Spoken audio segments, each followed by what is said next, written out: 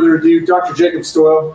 Thank you for the introduction, General Wooldridge. Good afternoon. I've met, tried to meet most of you since this. There are a couple I haven't yet had a chance to say hi yet. I'm Dr. Jacob Stoil. I'm a associate professor of military history at the United States School of Advanced Military Studies, or SAMS. Um, that means I'm a military historian, but also means I really like division and corps operations. That's kind of where I live my life what we're going to talk to, what I'm going to talk to you about today is a historically based guide to the different operational approaches you can take towards urban terrain. So if we think about the course going from here's the problem to here's some solutions, I am not giving you a solution. I am giving you your choices, and then I'm having giving you some of the considerations, advantages, and disadvantages of each of these choices. Now, some of these choices are completely unfeasible for us as a moral military. That doesn't mean I'm not pointing out that they exist for you, because your adversary may use them. So we're going to run through all of that. Before I get started, I also have a quick thank you to Major Silve and Sergeant Matthews, because honestly, General Wooldridge did his best. I'm a last minute type of guy, right? I think last year it was 3 a.m. when I delivered the slide deck. They got me to deliver the slide deck early this time, and this morning I'm like, hey, I want to make a change to it because I've noticed some formatting stuff. So the the ability of support to kind of roll with that, I really, really appreciate. So let's go on and let me tell you what I'm go- not going to talk about and what I am going to talk about. So there are going to be historical cases in here. I am on the whole not going to go into super depths in them. Those are for questions. If you want to talk to them, happy to talk to them. But they're the kind of places that you as a staff can start to look to get more information on some of these approaches, to think about in detail the pros and cons and applicability. Really, this is meant to get the party started. It is not meant to be the answer. It's meant to present you a range of answers. And the final thing of how do I want to do Q&A in this? We do have some time reserved for Q&A in the end, but we're going to go through a whole bunch of different op approaches.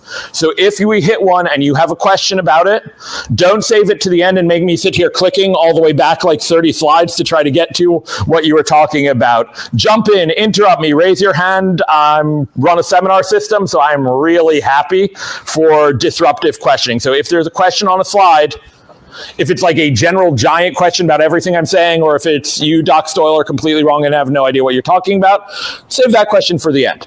If it is, however, on any particular slide, let's have it then, so that way we all have it fresh in our mind. All right, so what are we going to go over? We're going to talk about some general considerations for developing operational approaches. We're going to then go into some offensive options.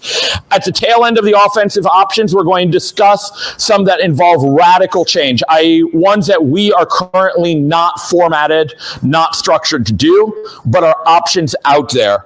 Then we're going to talk about the defense, and I'm going to break talking about the defense into two parts. First is preparing for the defense and second is conducting the defense. And in preparing, we're going to talk about if you have a long time to prepare and if you have a short time to prepare. For some of our European partners and allies and our Pacific partners and allies, the long time to prepare one is a really key consideration that we don't talk about, where you believe war to be on the horizon, but it is not here today. today.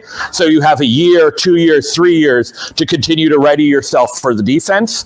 And for our SFAB brethren and sistren um, who are going to help our partners prepare for these things, these are really good pieces to think of. We're then going to go into short term where you have X amount of time unknown, but the enemy is at the gates and you need to start preparing for that. Then finally, we're going to move a little bit away from traditional offense and defense and talk about defending against urban areas, which is something we don't really talk about terribly much. And we're going to move into a little bit of consolidation of gain, security, and stability. So let's talk some general considerations. First thing is kind of we've circled around it on this course. What is urban and what is rural? Literally, the definition of rural is anything that is not urban. You can look it up anywhere. Comes from actually originally Anglo-Saxon wasteland, and wasteland was just the land that was not in a city. So this gives us a really unhelpful frame of analysis. And urban, there's a million and a half definitions, but they all involve population density X in a level of built up area Y but we all kind of know what we're talking about, right? And it isn't Russish, but we do sort of know what we're talking about. And so rather than defining the frame, I'm going to leave it as the we all sort of know what we're talking about approach and hope we can have a conversation based on that. Some things to think about, um, as Anthony King in the UK raises, the issue of force density.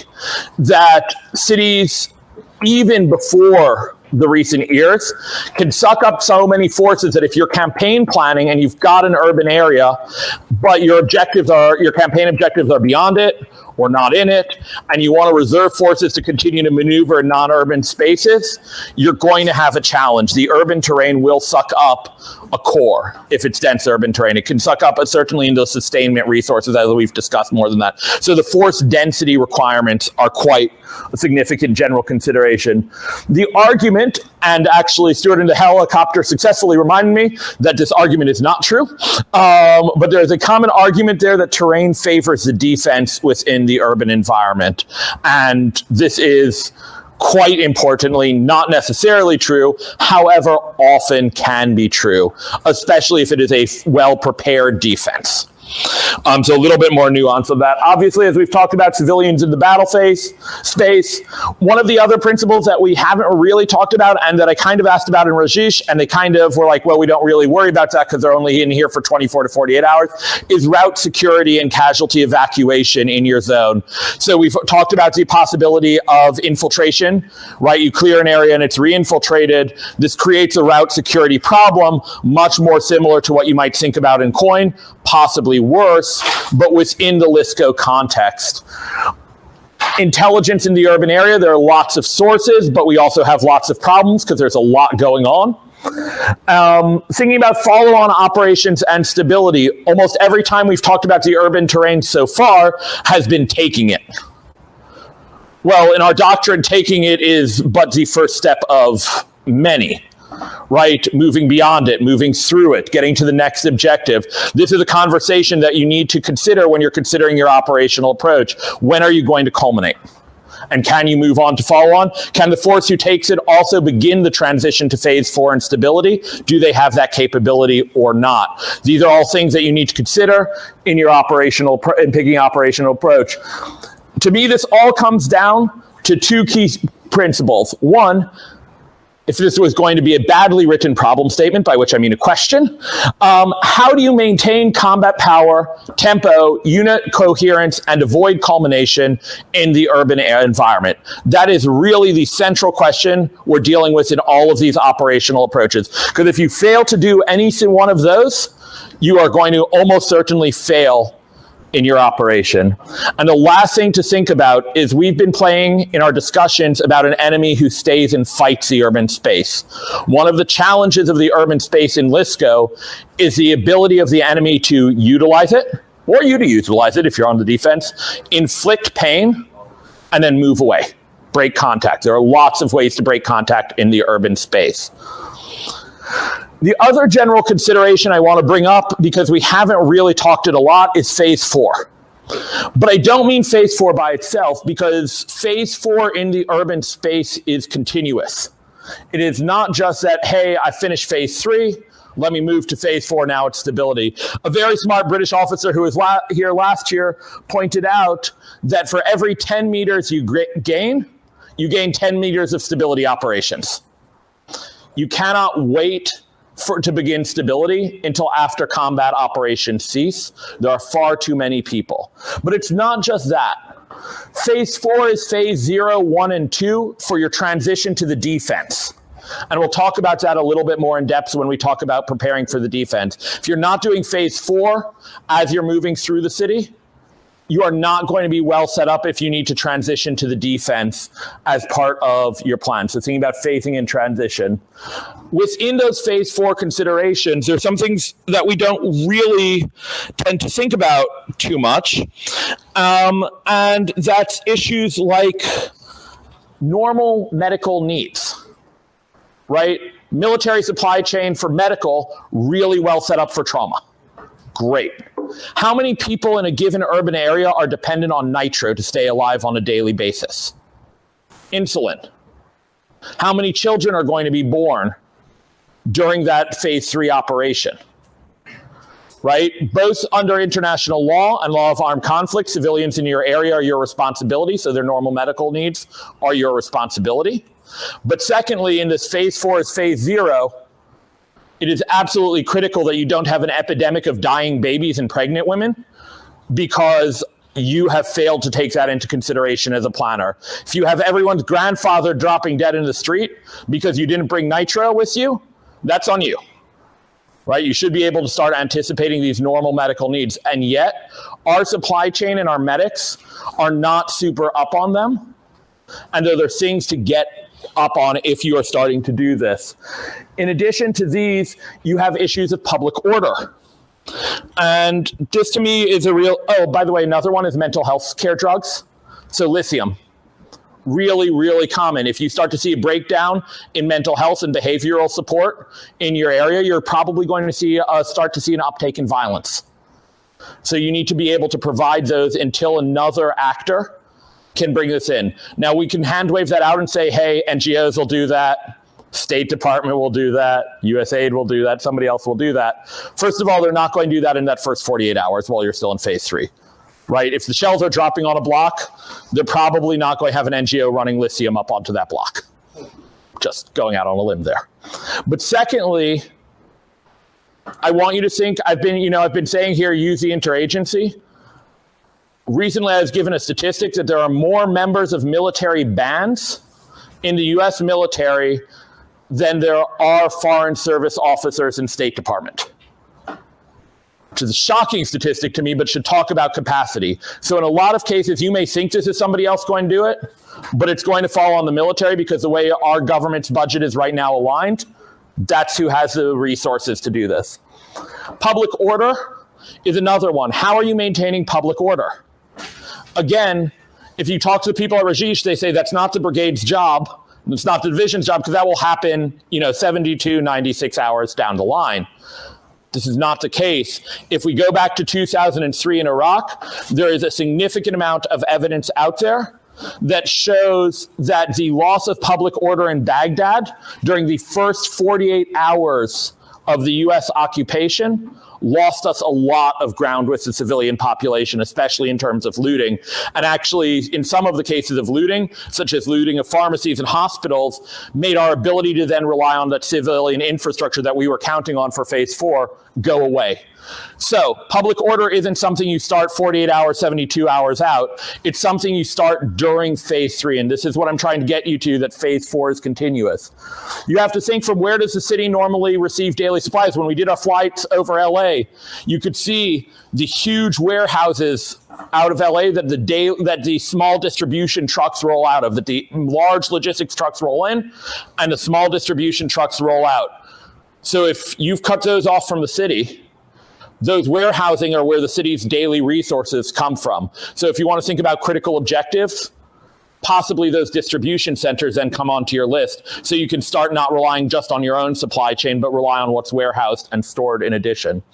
And then lastly, one of my favorite topics to talk about because I'm in, yeah, question in the back. and maybe you don't have them in the US as well, but a lot of the, the European cities have these um, museums with historical um, um, monuments and collections of historical um, stuff that technical is a always a prime We absolutely have them in the U.S. I live near the Nelson Atkins Museum, which is like one of the greatest collections in the Midwest of artifacts from all over the world. Actually, has an entire Roman fountain complex that was rescued from the British Army, which was using it as target practice in Italy. Um, but it is now one of the few surviving full working Roman fountains in the world. So yes, that's the kind of thing to think about protecting and that establishing of public order is are there critical museums? Is there critical cultural landscape? And we'll come back to that issue of culturally significant landscape later on on this. Yeah. Would you like consider that like like a, in upstate New York or anyone that lives in a snow-ridden area? They have huge uh, locations where truckers get salt to then salt the roads when it dumps snow as well as those transportation means of actually having trucks on the road? Like, would that be something? I would consider that absolutely something you need to look for in IPB, regardless. So you could say, I'm going to upstate New York in, you know, summertime, I don't need to worry about that, but you do because if those are depleted by the time you get to follow on forces, that's a huge logistics undertaking. I'd also say things like salt piles are something you need to assess on a CBRNE element because it's usually not just salt, it's usually a salt magnesium mix that can be highly toxic if inhaled or if it enters your water supply. So thinking about, say, uh, protecting it from a CBRNE element as well.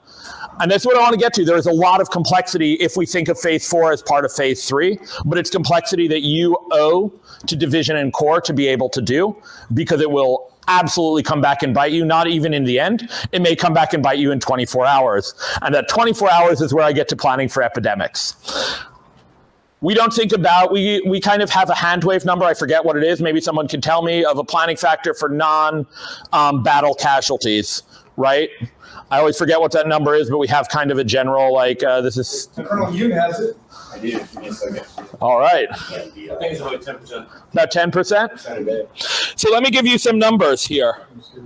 In World War II, as the U.S. entered cities in North Africa, we c- helped exacerbate a low-level, already existing hepatitis epidemic.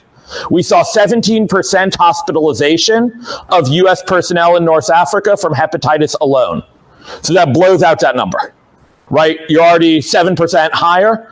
And if you think about force loss 17%, it's a really large chunk of change for your forces. Now, we learned from this, and we learned also we had near 10% from typhus, or somewhere in there. There's a debate about whether it was 6 or 10 whatever from typhus in Middle East. And so we learned from this. And as we got ready for the liberation of Italy, we anticipated that the attack on Naples would cause a typhus epidemic. Would cause the low-level typhus problem that was already going on in Naples, in Naples. It would cause an epidemic. We were right.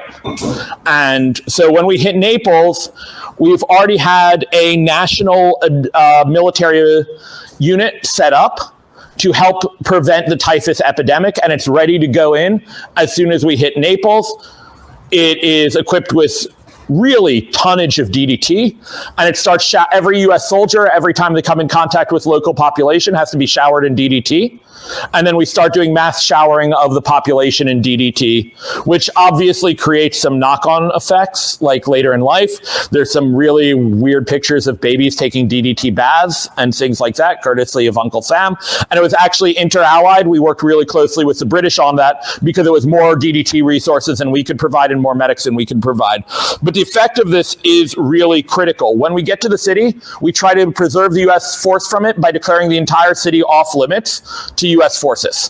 What's the problem with that if you're fighting through a city? Can't, you have to go into the city. You have to go into the city. You're in the city, and yet I'm declaring it off limits to my forces for the epidemic. So that didn't really work so well. Within the first week of liberation, the measured number of cash of deaths from typhus is at 250 per week. It's actually higher than that, but we don't know how many, but that's who's in hospitalization. By within two weeks, it's up to 700 per week and is expected exponential growth. And it is now, cons- at that point, becomes uh, considered a major threat to the entire U.S. offensive in Italy, i.e., threatening to shut down the Allied offensive in Italy until we can get a hold of it. Again, the DDT helps. Yeah, Did the Germans have this problem the Germans were who brought it. Um, so yes, the Germans brought it because German units did duty in concentration camps, and so the the units circulating from the east into Italy brought it actually from the concentration and death camps into Italy. Um, and it's going to become a very big problem in the German army in the Eastern Front, for instance. You've got lots of people dying from typhus. So, I'm so glad we know. yeah, yeah. Separate question. So I'm assuming this list is not all inclusive. This list is not all inclusive. Within that said, what differentiates then not providing, becoming a city manager?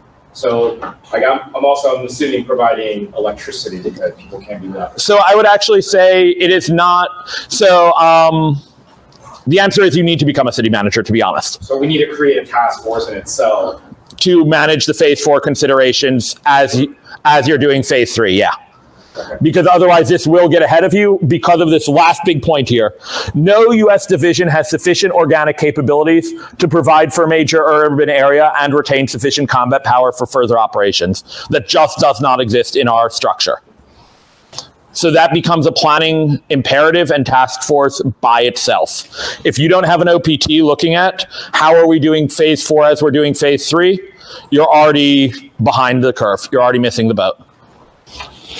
Who are the experts to reach out to, internal to the U.S. Army? Civil affairs, And it's what they do. Yep. Now, fun story is this is actually how Henry Kissinger got his start in politics. Is in Germany as part of the occupation of Germany, we did do this, and we take Henry Kissinger because he speaks fluent German, and we give him a small town, and he does quite well in a small town. So we give him a bigger city. He does quite well in a bigger city running it, and then we give him an entire uh, state of Germany, and he does fairly well on that, and then he becomes Henry Kissinger. Um, but that's really where he got his start as being Henry Kissinger because we had done deliberate planning for this from before we ever set foot on France of how we're going to handle this. Um, and obviously, there's counter intel part aspects of this and all. What echelons do you think that, that needs to be handled at then?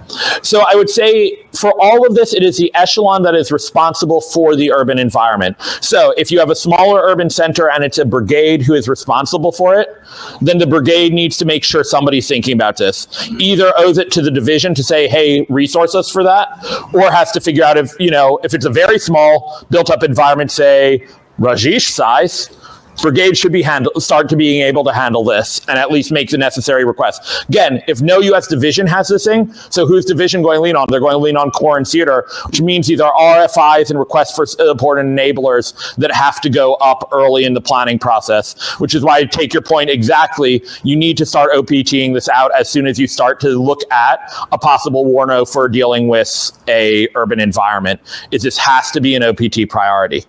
Yeah. So there was some good practice in the Mosul operation in terms of the coordination, uh, in twenty sixteen, in the shaping phase for this particular phase. Uh, and again, because the phase was happening as areas being retaken, you know, you were trying to move to phase three and phase four, and even training of, uh, security forces and public order management, displacement, medical needs, et cetera. Uh, and there was, there was just a lot of really, uh, important uh, coordination that took place between the coalition, Iraqi government, Iraqi NGOs, uh, the UN agency. There were gaps, but uh, it was a good example of that kind of uh, coordination um, in thinking through how quickly uh, this support was needed before the entire liberation of. Right. And what I'm not going to say is how you do this coordination. This is more to say this is a planning consideration that needs to be upfront rather than this is the exact NGO you call on and, you know, this is how you're going to solve this. I firmly believe each one is going to be different because of the different presences of NGO, different capabilities of different divisions, but it must be part of deliberate planning. And we'll come back to that idea that this is also your first phase of preparing for the defense if you have to transfer. But with that, let's go on and talk about the offense a little bit because we're the American military. We are the, you know, we're offensive. It's the most fun, right? You get to roll tanks and maneuver Strykers and all kinds of good things. Um, but we've been talking a lot for the last few days that it's also really challenging in urban environment. So, how do we approach this? How do we draw up operational approaches that are not just sitting and looking at maps and being like, I want a line to go here, and you know, there's stuff in the way, but eh, Joe can figure that one out. So, because I am a SAMS guy, I had to put like some doctrine on here, or I'll lose like my entire SAMS credibility and credentials, and they won't let me back in the building. Here are your, if you go to elements of the operational art, this is really the considerations that are going to help you choose which operational approach to take. Obviously, under ele- the, even the concept of elements of operational art, all irrelevant, but these are the ones to really look at. End state and conditions. What are you trying to do with the city? Why are you here? Are you just trying to take an S pod and an A pod, and you don't really care about the rest of the city? Are you trying to open a road? For onward movement and you don't care? Are you trying to take a capital building or a significant uh, terrain? Right? Why are you? What is your end state, and what are the conditions that determine that you have met that end state? Secondly, phasing and transitions. Right? We this is not just phase lines. This is as we've talked about this phase three, phase four stuff, right? This is getting really complicated, right? This is also talking about moving on and handing over to follow on forces. This is also forward passage of lines when you need someone else to move forward, which is directly hit to culmination. how long can you sustain the type of fight you're in? What can you do to extend that timeline? Tempo. Not only how fast do you need to go to hit your end state, right? Is there a level of speed you need to go? But tempo is always not just speed. Sometimes you want to do, and we'll see in some of these options, a deliberately slower tempo to be able to better attrit your adversary right? So, how are you controlling tempo? And finally, very critically, as we've talked a number of times already about logistics and sustainment, your operational reach. How can you extend that operational reach into the urban area? So, these have these in the back of your head as we're going to talk the rest of this about operational approaches. How does it line up across these variables? So, let's talk about the first potential operational approach destroying the city. Always comes up whenever we discuss urban operations, and I am sure there is someone who has secretly been thinking in the back of their head, this is all really complicated. Can't we just reduce it to sand and dust? Right? We've got a lot of explosives in our arsenal, and we could do uh, arms reduction one at a time on an urban area until it no longer is a problem. And you know what? We've done that before. It's not something the U.S. military has not done. In the last big LSCO, uh, we did that to Cologne. We did that to Tokyo, right? And in the case I'm going to use, we did that to Le Havre in France. So, Havre? And that's a picture of what's left of the city after we take care of it. Fairly large city, that's what's left. So, why do we do this to it? It is a critical port on the English Channel We'd been trying to take Brest in the Brittany Peninsula for quite a while, and the Germans had fortified it so much that it's going to take us most of the rest of the European campaign to actually take it. What this means is we can't use its harbor, which is what we need, and so we're stuck using the temporary harbors in Normandy. So rather than give the Germans the time to really fortify it and us to have to clear it street to street, we decide to reduce the city. We destroy 15,000 buildings and it is a relatively easy win. We do just roll into it. Now, got a problem though, because with all that destruction, takes us over a month to even begin limited port services. We basically reduced the port out of functionality for what we had been trying to take it for. And civilian casualties are so high that it actually turned some of the pro liberation French against us because we did just kind of wipe out a city little bit of an issue there, especially for the people living in that area. They were not happy. Um, and so we have to think about the considerations. It achieves decisive effects, right? You have destroyed the enemy force in that city. They are no longer there if all that is left is sand dunes. It saves time. You could do this fast, especially with our joint fires capabilities. And it saves friendly casualties because you're reducing it with joint fires. However, we have to think about civilian tendencies under bombardment. What are they going to do? Are they going to stay in place and die? Are they going to try to flee to your lines? How are the civilian possibilities going to go? You also have an issue with moral injury. And we saw this in the battle, in the attack on Cologne and the attack on Tokyo, where you have things that we now identify as moral injury. People who took part in those battles on our side who become combat ineffective due to the trauma of doing things that they felt were simply not compatible with themselves as moral humans. So we have to think about that consideration to it. Also, the long term effects of the civilian casualties. If we're wiping out a city, what does that do to us? What does that do to the local economy? What does that do to the local civilian population? It creates other problems such as disease. You got a lot of bodies. You got a lot of other issues. You've destroyed critical infrastructure nodes, so disease is going to be a major issue. And frankly, there's the law of armed conflict considerations, there's the ethical considerations, and there are the moral considerations, which may render this, and hopefully does, uh, unusable for most people in this room. But it is worth understanding why an adversary may choose it right? What are the pros and cons of it for an adversary who may not care about some of those considerations? So let's talk about assaulting the city in all its many and varied wonderful forms. Right? If we're not going to destroy it, now we actually have to deal with it. So the first case of assault we could talk about is a deliberate assault. This is pretty much what we're used to seeing. It's what they described at Razish. It's like the go to, I am feeling uncreative today version of taking a city. It starts with a breach, usually establishing a foothold, then a maneuver phase where you're trying to move through the city, and then an exploitation phase where you move beyond your objectives and try to break out to the next phase lines and beyond, right? We can all kind of picture this straight up doctrine. All good. We've got some great historical cases of it. Obviously, I think the most famous is Stalingrad from the German perspective. It's exactly the plan of Stalingrad breach, maneuver, and then move beyond Stalingrad into an exploitation phase. So, what are some advantages of it? Well, it allows for consolidation. You breach, you establish your foothold, you consolidate your forces, you can effect another breach if you need, or you can move into maneuver and exploitation. It allows for continuous and decisive operations. There's no reason once you begin operations to pause operations, so you can retain initiative. It is decisive. It allows for you to actually defeat and attrit the enemy to the point where they even go to that doctrinal weird spot of destroy, right? Because of the deliberate uh, pay for it, and it allows exploitation. If you break through very well, if you win the maneuver phase, you can continue to move on beyond the urban area to whatever subsequent objectives exist in the campaign.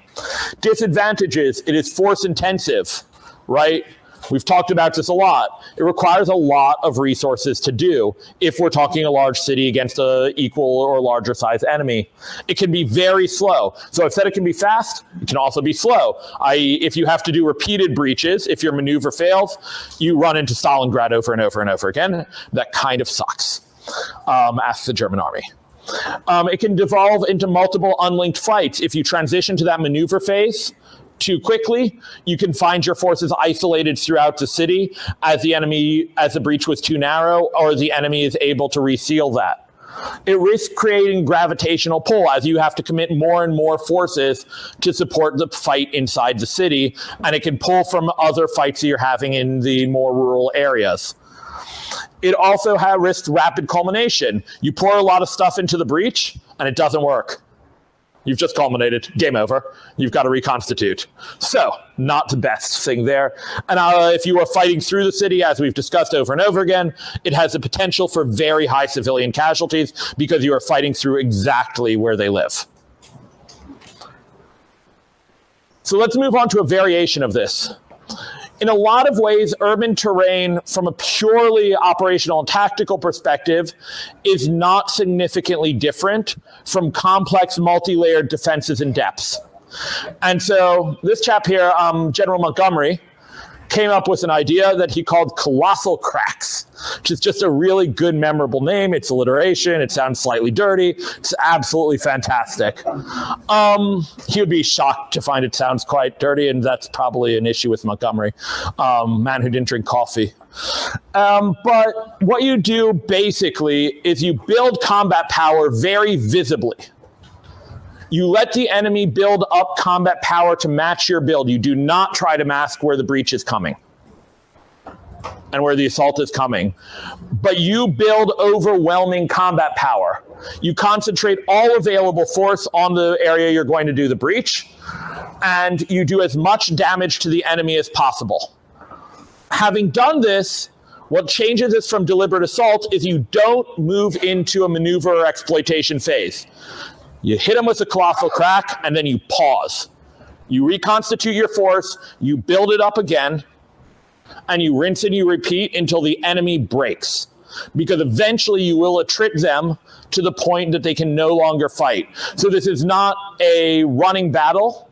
This is breach, pause, build up combat power, breach, pause, build up combat power. And the goal with these is to have the enemy defend with its mass against you until you successfully attrit them to the point that they cannot continue the fight. So this is a variation on deliberate assault. So what are its advantages? It reduces the chance of dissipation of effort or overextension, right? You're keeping your whole force together. You are not allowing them to dissipate. It allows for decisive victory. If you keep doing this, eventually the enemy is just dead. Then you've won. And the city or whatever else you want is yours. It retains control of the initiative. You set the tempo. It is a deliberate tempo. You set the starts and endpoints of each effort based on conditions or terrain to retain maximum efficacy. It's not effects based. It is terrain based based on your understanding of your operational reach. So you just keep your force together as much as possible. It also allows from, for the transfer, uh, transition to exploitation and maneuver. Once the enemy is dead, you maneuver wherever you want, and they can do very little to stop you. One advantage it has to think about it is it is heavily joint fires enabled, right? This is the artilleryman's dream fight because what's really doing it, it's artillery and engineers, and everyone's going a little bit. And what sets the tempo is your firepower. It is a firepower based approach. But its disadvantage is it results in repeated breaches and therefore very engineer and heavy and fire centric. If you don't have sufficient fires, if you don't have sufficient engineering, engineer capabilities to repeatedly do assault breaches, this is not the choice for you. It is potentially slow. The enemy determines when you're done this by when they're all dead or running away right? It has the potential for overextension if you think you have defeated the enemy and you haven't. That gets you back into that Stalingrad like affair. And it gives the enemy an opportunity to prepare for a deliberate defense. Why? Because you're showing them exactly where you want to, are going to go. You want them to prepare that deliberate defense right in front of you because you want to kill them all in their defense. And obviously, in a city, this amount of joint fires creates a huge possibility for civilian casualties, which is another consideration to bring to bear on it. Go to another one. This is John Spencer's favorite. In fact, he gave it a name.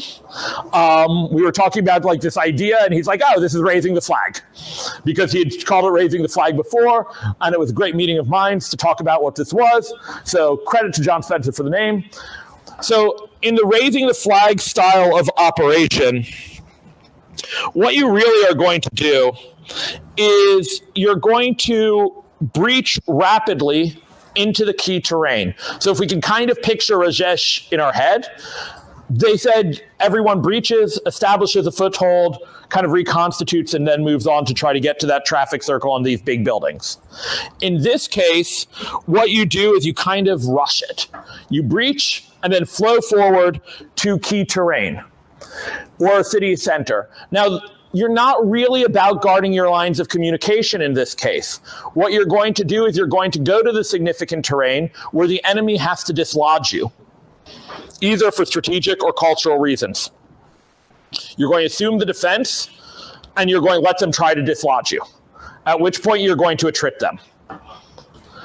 Um, a really good example of this, there are three. Some of them go well, some of them go poorly. So, Second Fallujah, this was the deliberate approach of Second Fallujah. In Lebanon, Ainata or Ainata, this didn't go as well, kind of works. Um, and in the Battle of Jenin in 2002, they do inadvertently do this. Their goal is to penetrate to the center of this, uh, what's called the refugee camp, um, or the kind of very dense part of the city, and the enemy will attack them, and then that will push the enemy into a waiting line of attack. Um, it doesn't really work very well in that case because you need sufficient capabilities with you to maintain that defense. You need to attrit them on the defense. So it's breach, flow, take key terrain, and force them to attack you. And this way, you get any defensive advantages of the urban terrain are now working for you. And they're going into a hasty counterattack in a place they didn't expect. So when in Razish yesterday, I asked them, "Hey, do you have anyone do this? How would you counterattack given that you have very few forces? And they go, no, really, we've got this pacing where everyone goes and establishes a foothold so we can fall back to a secondary line of defense and then use our strong points and hold them there. This denies the enemy that ability. But it does have some problems, right? It requires a lot of support and enabling from outside the urban terrain. You're not going to flow into this key objective with all of your fires capability. You have to be able to coordinate that from outside the area you're fighting. It places your line of communication and casual Kazakhstan at risk. If you think of it this as a lollipop, that like lollipop stem is quite vulnerable at that point. And lastly, it risks isolation right? You've gone, you've raised the flag in the center, and now what are you? You're isolated. Yeah. Question for, that. Um, if it's, uh, if it's two terrain or this is terrain, wouldn't that be also a place where the enemy plans to mass forces quickly? Often not, because they're expecting you to do a breach and follow, right? You, we have a way we fight. This is taking advantage of they're probably going to try to meet us at the breach. And then they're going to have phase lines of defense, like a defense in depth. What this really does is it cuts the ability of the enemy to do a defense in depth. Because while they're planning to fall back under certain conditions, you're just rolling through. Yeah, John, did you want to add on that? That was the second battle of Fallujah. The, the key terrain that they chose to punch to was Jolan Park, but they thought the enemy would think that there's their secondary fighting position. So they actually moved into enemy fighting positions and used fires to secure the lines and to defeat the enemy in detail. The enemy had to come out. And that's really the purpose of this one. Obviously, if your enemy is centered on that key terrain and already massed there, don't choose this choice, right? And that's it. Is all of these are condition-based choices. You have to look at the operational environment. You have to do your IPB. You have to do your reverse IPB, and all of this will start to drive which of these choices you take. What echelon do you see this at the lowest? I have literally seen a company attack do this. So this is translatable down, but it depends on again what's the nature of the enemy you're fighting and what kind of support you have and need. You can even go down further than that. The U.S. Army Rangers in Afghanistan used this. They called it the Team Merrill concept. Um, they couldn't find the Taliban, so they just went in, took over a compound at the platoon level, raised the American flag over a, an enemy-held village, and forced the enemy to come and try and get them out of it. And then they just, you know, sort of spent the night before preparing positions, which laid waste to anybody who moved with ISR, AC-130s, all that stuff. So, um, yeah, you can you can do this at any any echelon. Really. Um, it, it's very effective. The Like I said, but you know, with, with the caveats of you need understand your enemy's capabilities, that's an thing. But you don't know where the enemy is, and you want to force them out whenever you One thing to consider is no matter what echelon, this really complicates CASEVAC. CASEVAC becomes really can become really really challenging using this method, especially if you do, if you don't have unfettered access to the sky. I'm not even saying you don't own the sky. If they have lots of A2AD or man pads, this can really complicate CASEVAC. So that is a consideration. If you're choosing this, you need to spend a lot of time with your medical planners figuring out how people are going to stay alive. Yeah. One more question, Colonel Spencer. In the second battle of Fallujah, um, did they, the enemy, have a reserve that they used, or did they not plan for that? No, so they were planning a Chechen small group mobile defense. Yeah. Um, from, they, they shot for a few houses, right, House from Hell, things like that, but they, they were planning on a secure foothold and start clearing. So they prepared multiple houses to be that in a mobile anti-armor defense. And they still took out six tanks and then mobility kills on that penetration. To. I'm looking at the previous presenter who uh, is going to be going to NTC, or a couple presenters, our morning presenter is going to be going to NTC for rotation soon.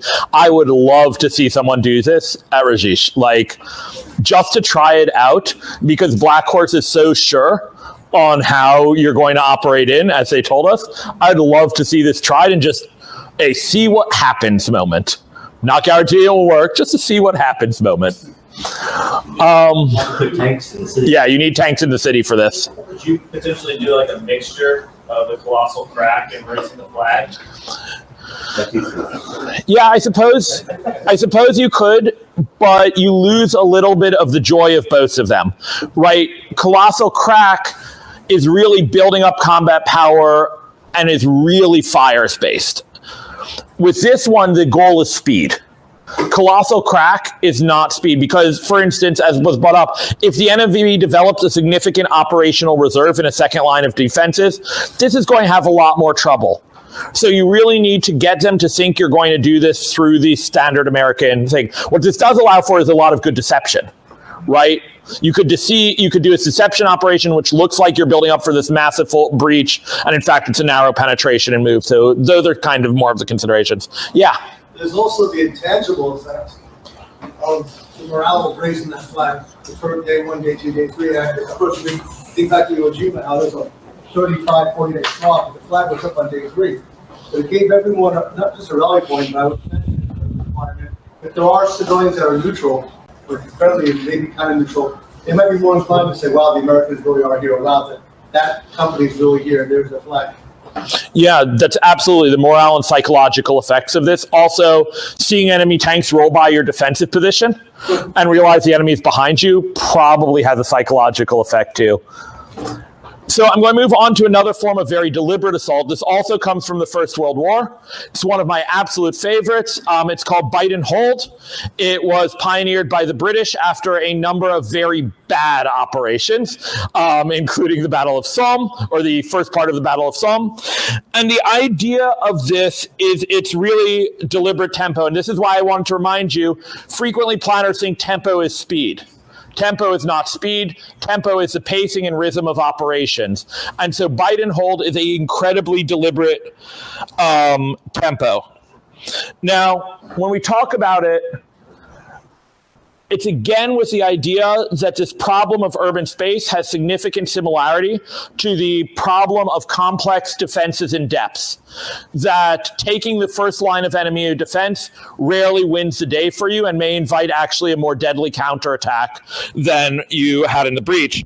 In the First World War, the British and French and their many, many allies the world around, um, looking at Australians here, um, faced a really significant problem, which is a, it's a myth, right? They went over the top and all got shot down in no man's land. That's not really what happened. What really happened is most of the time they got over the top, got into the enemy's trench, seized the first line or two lines of the enemy's trench, and then because the enemy knew exactly where they were because they were in their previous positions, the Germans were able to target incredibly effective artillery on their former positions. And at this point, the British and French supply lines were extended. The men were exhausted, and they almost always were killed in the immediately following counterattack. So, how do you deal with this problem? Bite and hold comes as an approach to deal with this problem. You mass overwhelmingly force in a very limited area.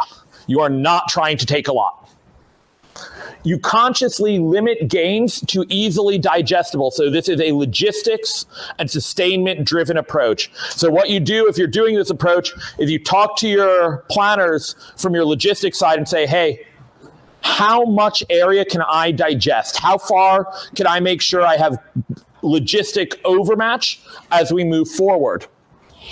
And what you do is you pull resources to that. You move forward, you breach, and then you switch to the defensive almost immediately thereafter.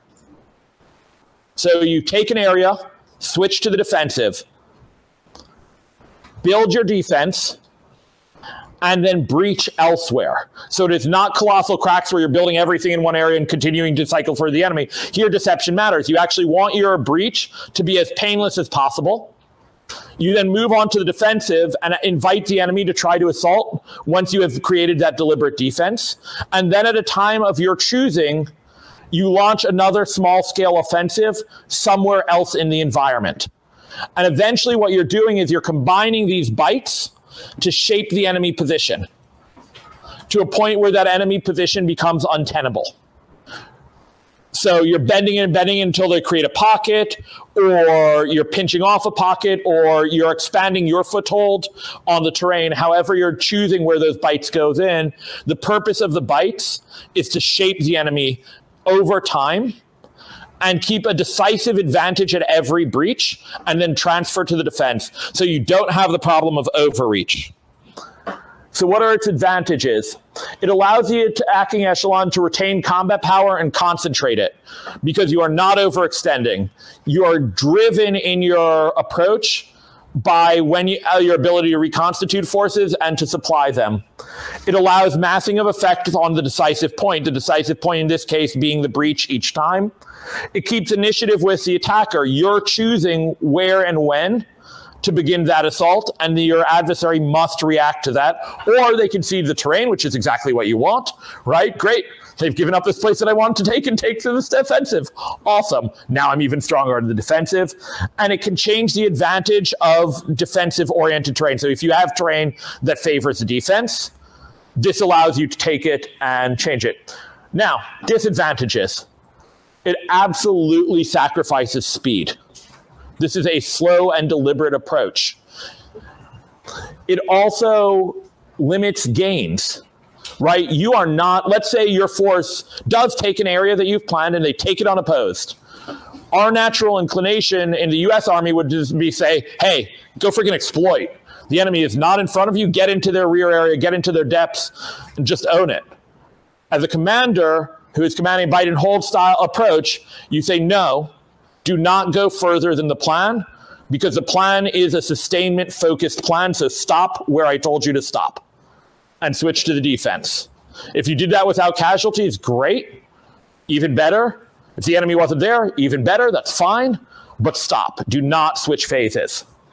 And it is a non decisive operation. There is no point in this operation where you're like, I have decisively defeated the enemy. You're leaving the enemy to withdraw or to attack you while you're on the defense. So this is a non-decisive operation. It is considered you could see it as permanently shaping, constantly shaping and shaping and shaping and shaping to victory. So planning considerations, how do you maintain tempo with this? How do you maintain that deliberate tempo? Phasing and transitions, you have two questions. You have three parts of phasing and transitions of this. One, the switch to the defense. Two, when do you begin your next assault? And three, when have you shaped the enemy enough that you can stop doing bite and hold and freaking go after them? Right? When do you get to the fun part? Do you see this as maybe a uh, approach for our current tactical exercise based off the size of the objective and the size of our forces? This is certainly a valid approach. You'd have to RFI, for instance, how much time the boss is giving you to take the objectives, right? Because this is not a fast pace of operation. This is deliberately keeping your operation slow. And contrary to doctrine, right, doctrine says we want to avoid the attritional approach. This is fundamentally an attritional approach. This is not a maneuver based approach. So it's a little bit alien to our current doctrine, which means there may be some bosses who are highly uncomfortable with that going to finish up offense and then we'll take a little bit of a bio break. So I'm going to get into some wackier and some of the more wild country uh, forms of offensive approach now. This one is called nonlinear assault. It is often confused with walking through walls or mouse holing, which is tactical. And some people also call it fractal operations. The reason it was confused is because there was an Israeli author, author who, for our sins, worked at SAMS for with SAMS for a few years, who managed to confuse the two deliberately and take an operational approach and a tactical approach, kind of mess them together and from this day forward, we're all confused. Um, but what it really says is you create mixed combat teams or bubbles which have no fixed movement and phases towards objectives. You give them an overall objective, but you don't coordinate phase lines. You don't coordinate how they move to the objective obviously we're all starting to get itchy. I can see people being like, "Oh, that's that's really uncomfortable," right? Because what am I actually telling them? Um, these task organized bubbles are really important. And what it means is coordination is non hierarchical. So these bubbles aren't reaching back to div and say, hey, I'm moving here, I'm moving there. They're doing lateral coordination with each other. Um, so they're shortening that coordination line. And the argument is, as division or corps, you're not going to have enough fidelity into what's going on, the ground to be particularly useful anyway, right, in this really hyperdense urban terrain. So just don't. Take yourself out of the way and let your subordinate commanders who know what they're doing, who know the conditions on the ground, actually do their job. Um, which is a very, very uncomfortable thing to say. Um, and we can all think about some of the problems with it. But what it does is it sacrifices coordination for maintenance of initiative. So therefore, if one bubble is stopped, they run into a strong point that they can't get around, that is no loss. It is not messing up your timing. It's not messing up your phasing. You throw support behind the bubble that's moving. So if you have a bubble that's enjoying success, that bubble becomes the main effort until they stop enjoying success. And then the next bubble becomes the main effort that is enjoying success. So it keeps switching who the main effort is and who resources are thrown behind. It creates confusion among the enemy, frankly.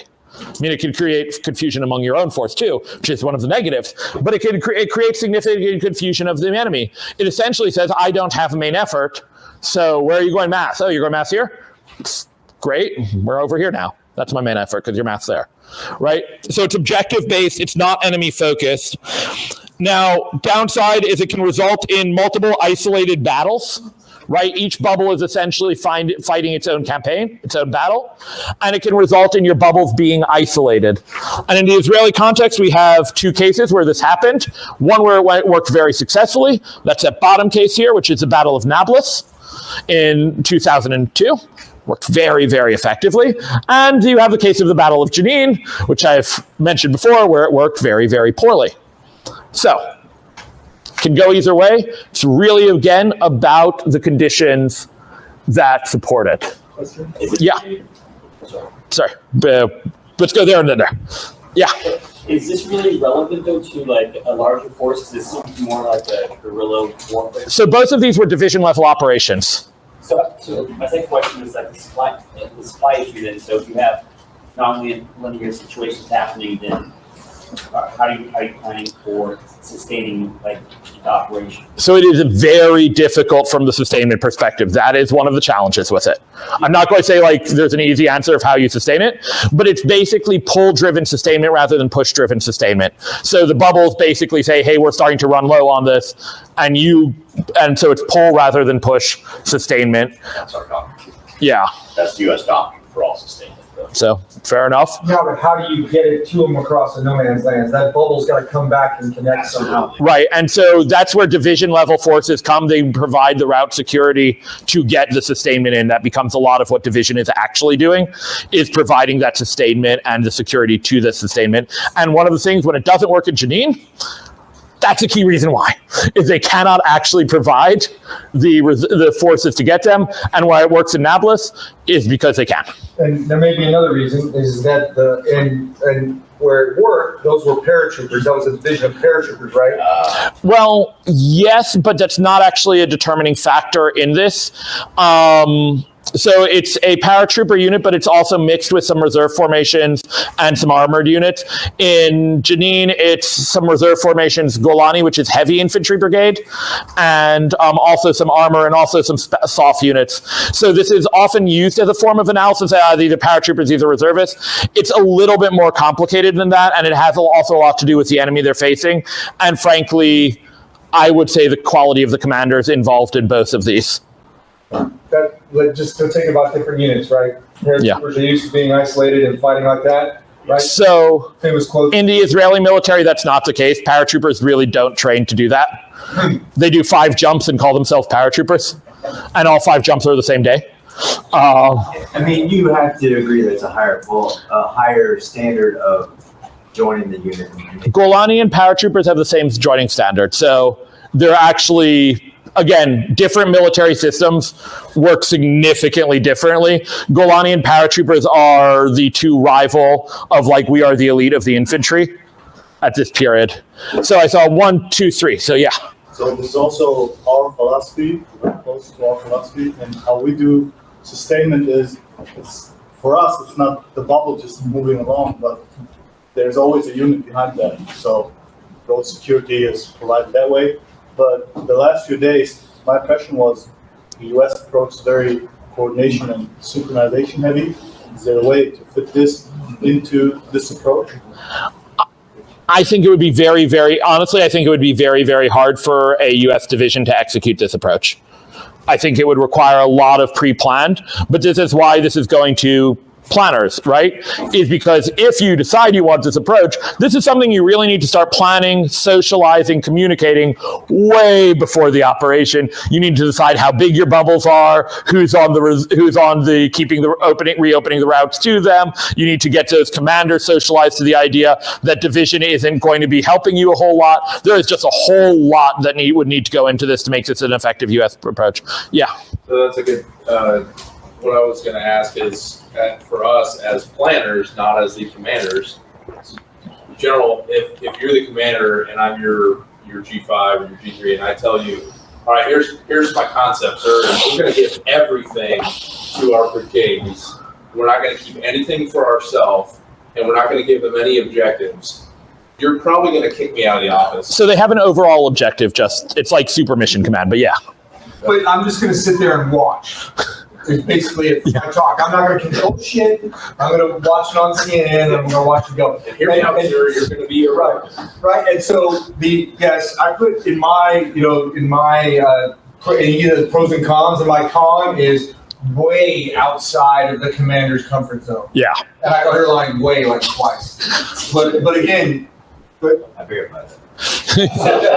So I guess my question though is, you as a commander, like, how could I, how could I sell that to you?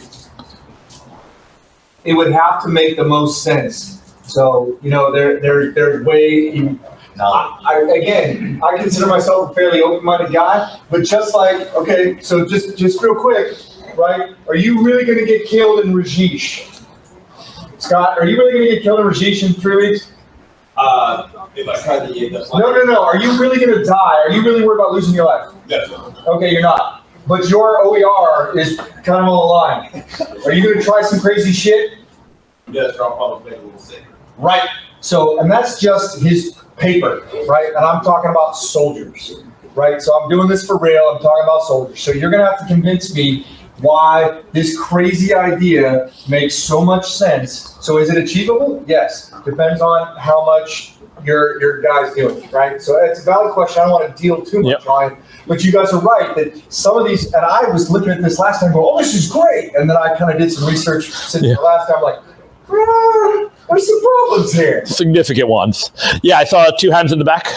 So I was just going to follow on and say, but this is about risk. And to your point, sir, this is about being able to convince you that the risk is worth the reward.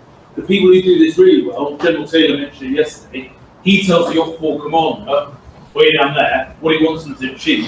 And OPFOR at the low level can go out and do this with like small groups of geezers that get behind, in and around and make things. Small groups of what? Geezers. sir. What's a geezer? It's like People. determined men. Okay, small band of determined men. That's even better than little group. I like. Small band of determined men. Does that make a good acronym?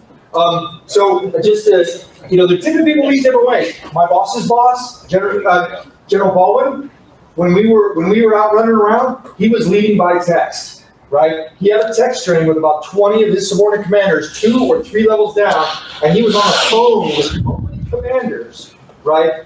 He had to say it was flat, it was amazing, right? And keeping up with it. And there were a host of problems that went, none of these solutions are the magic button, right? So it's, hey, does this work for the particular thing? And are you willing to take this risk? And that's the piece right there, right? You have to convince me that the risk is worth the reward with me. Uh, anybody who's ever worked with me, I say there is no reward without risk. That's one of my sayings. So it's a question of the risk, right? Great. And that's something, this is almost what we're talking about when we're fighting on multiple levels. I mean, granted, we're, we're like taking this back down into the tactical. Yep. Your point about it being at the operational level, but you want a non-hierarchical, you want a flat communication, like everyone on the same net, and really short, sharp burst of transmissions, so that everyone's not stepping over everyone else, Right. and they're able to just work to the intent, go.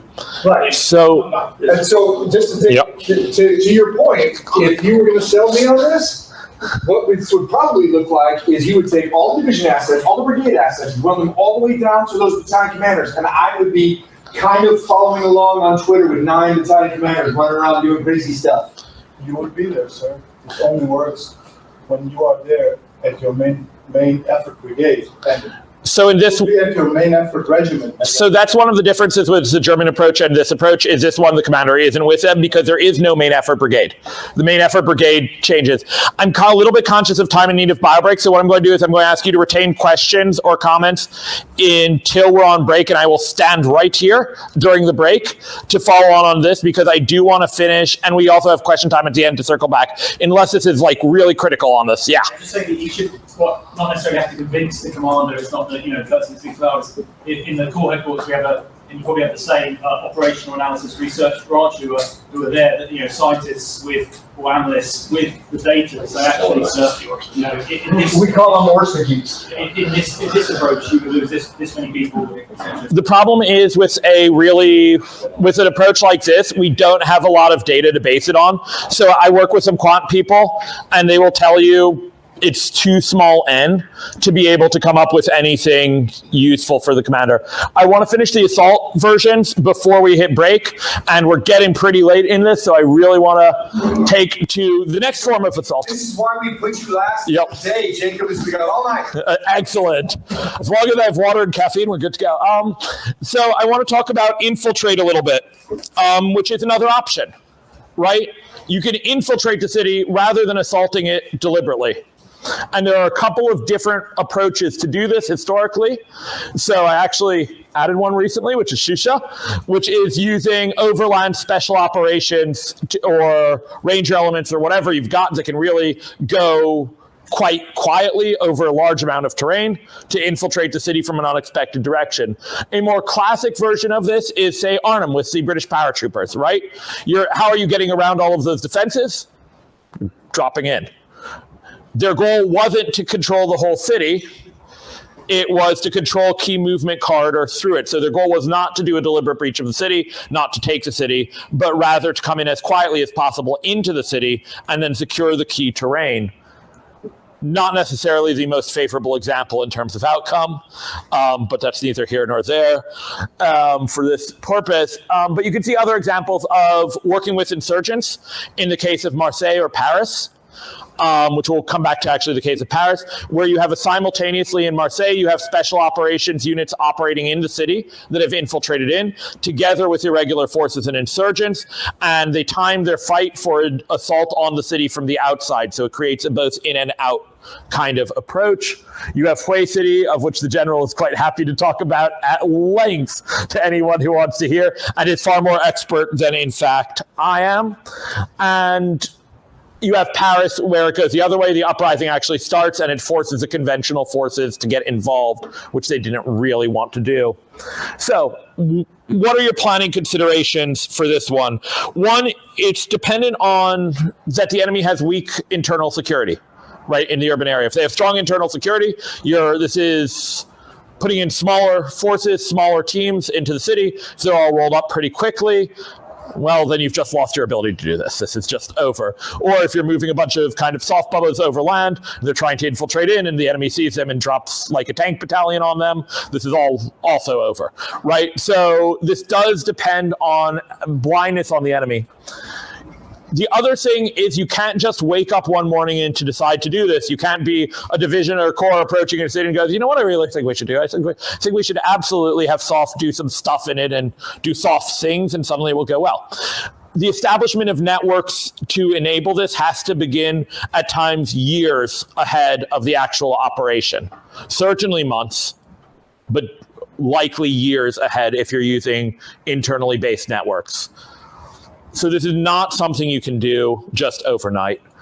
It also is SOF heavy in most versions of this, right? Short of the airborne or air assault into the city by surprise, and air assault kind of gives up the gig. You know, you've got a bunch of helicopters coming. It's not quite stealthy and infiltrating, um, but right? You need a lot of SOF, which means you're going to be requesting assets that are not organic to your corps division, which obviously puts this early into the planning process. So this has to be a very deliberate early choice. It also risks defeat in detail. If you're taking, say, the Marseille approach, where you're going to have your SOF come in, and then you're going to have your insurgency start, and then you're going to have your conventional forces enter, what you can easily find is your SOF dead, then your insurgency is dead, and then your conventional forces have to pick another approach, or they're going to try to assault the city and they're going going to die.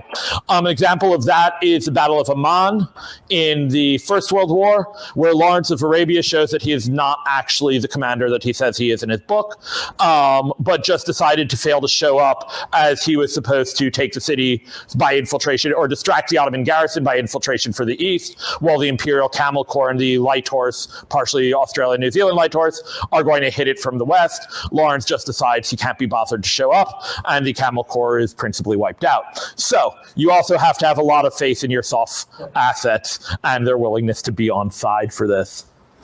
We'll take a pause for a bio break there because next we're going to talk about where you get into isolating the city and the different approaches that involve isolation. And then we're going to move on to defense and preparing for the defense. Right? How long? 10 minutes? Five minutes? 10 minutes.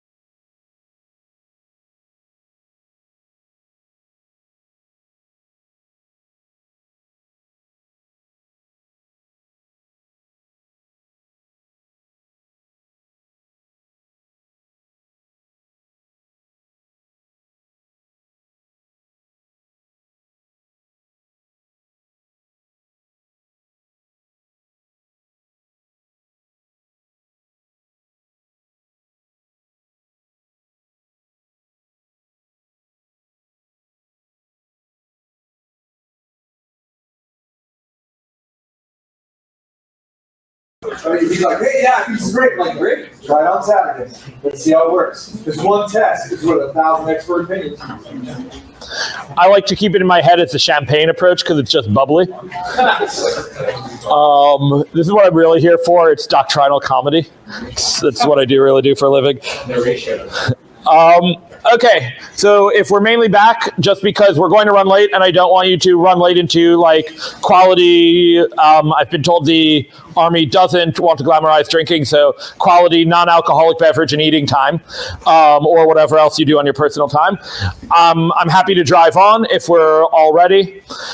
So where I want to get to the next is we've just talked about a whole bunch of versions of assault, and let's be honest, none of them sound particularly great, right? They all kind of suck in some way or another way and have a lot of risk of high friendly casualties. And in each case, I'm like, oh yeah, and here's how it's not going to work, and then you all die. Right? So, other option, this all sucks, let's not do it. And that drives you towards some form of isolate or besiege. Because what you're then doing is you're changing the calculus. You're not doing this. Well, so we'll start with the very classic just besiege it. Right? Always popular throughout history. Never fails, except in many, many times it does. Um, and we can have a gazillion and a half historical examples from the ancient siege of Jericho, if any of you are more biblically inclined, though I doubt God will be taking down walls. If he does, then you definitely have an advantage, marked advantage over the enemy. Um, you've got Leningrad, Kiev, many times of Kiev, actually, not even the current one, which wasn't a siege, Maastricht, Ladysmith, gazillion and a half. So let's talk the advantages and disadvantages. Well, the clear advantage is you don't fight in the city. So if you really don't want to fight in urban terrain, siege is a potential way to go. It does allow for decisive victory. You're strangling the enemy. At some point, they give up or they die. Those are their choices, if you can lock it in.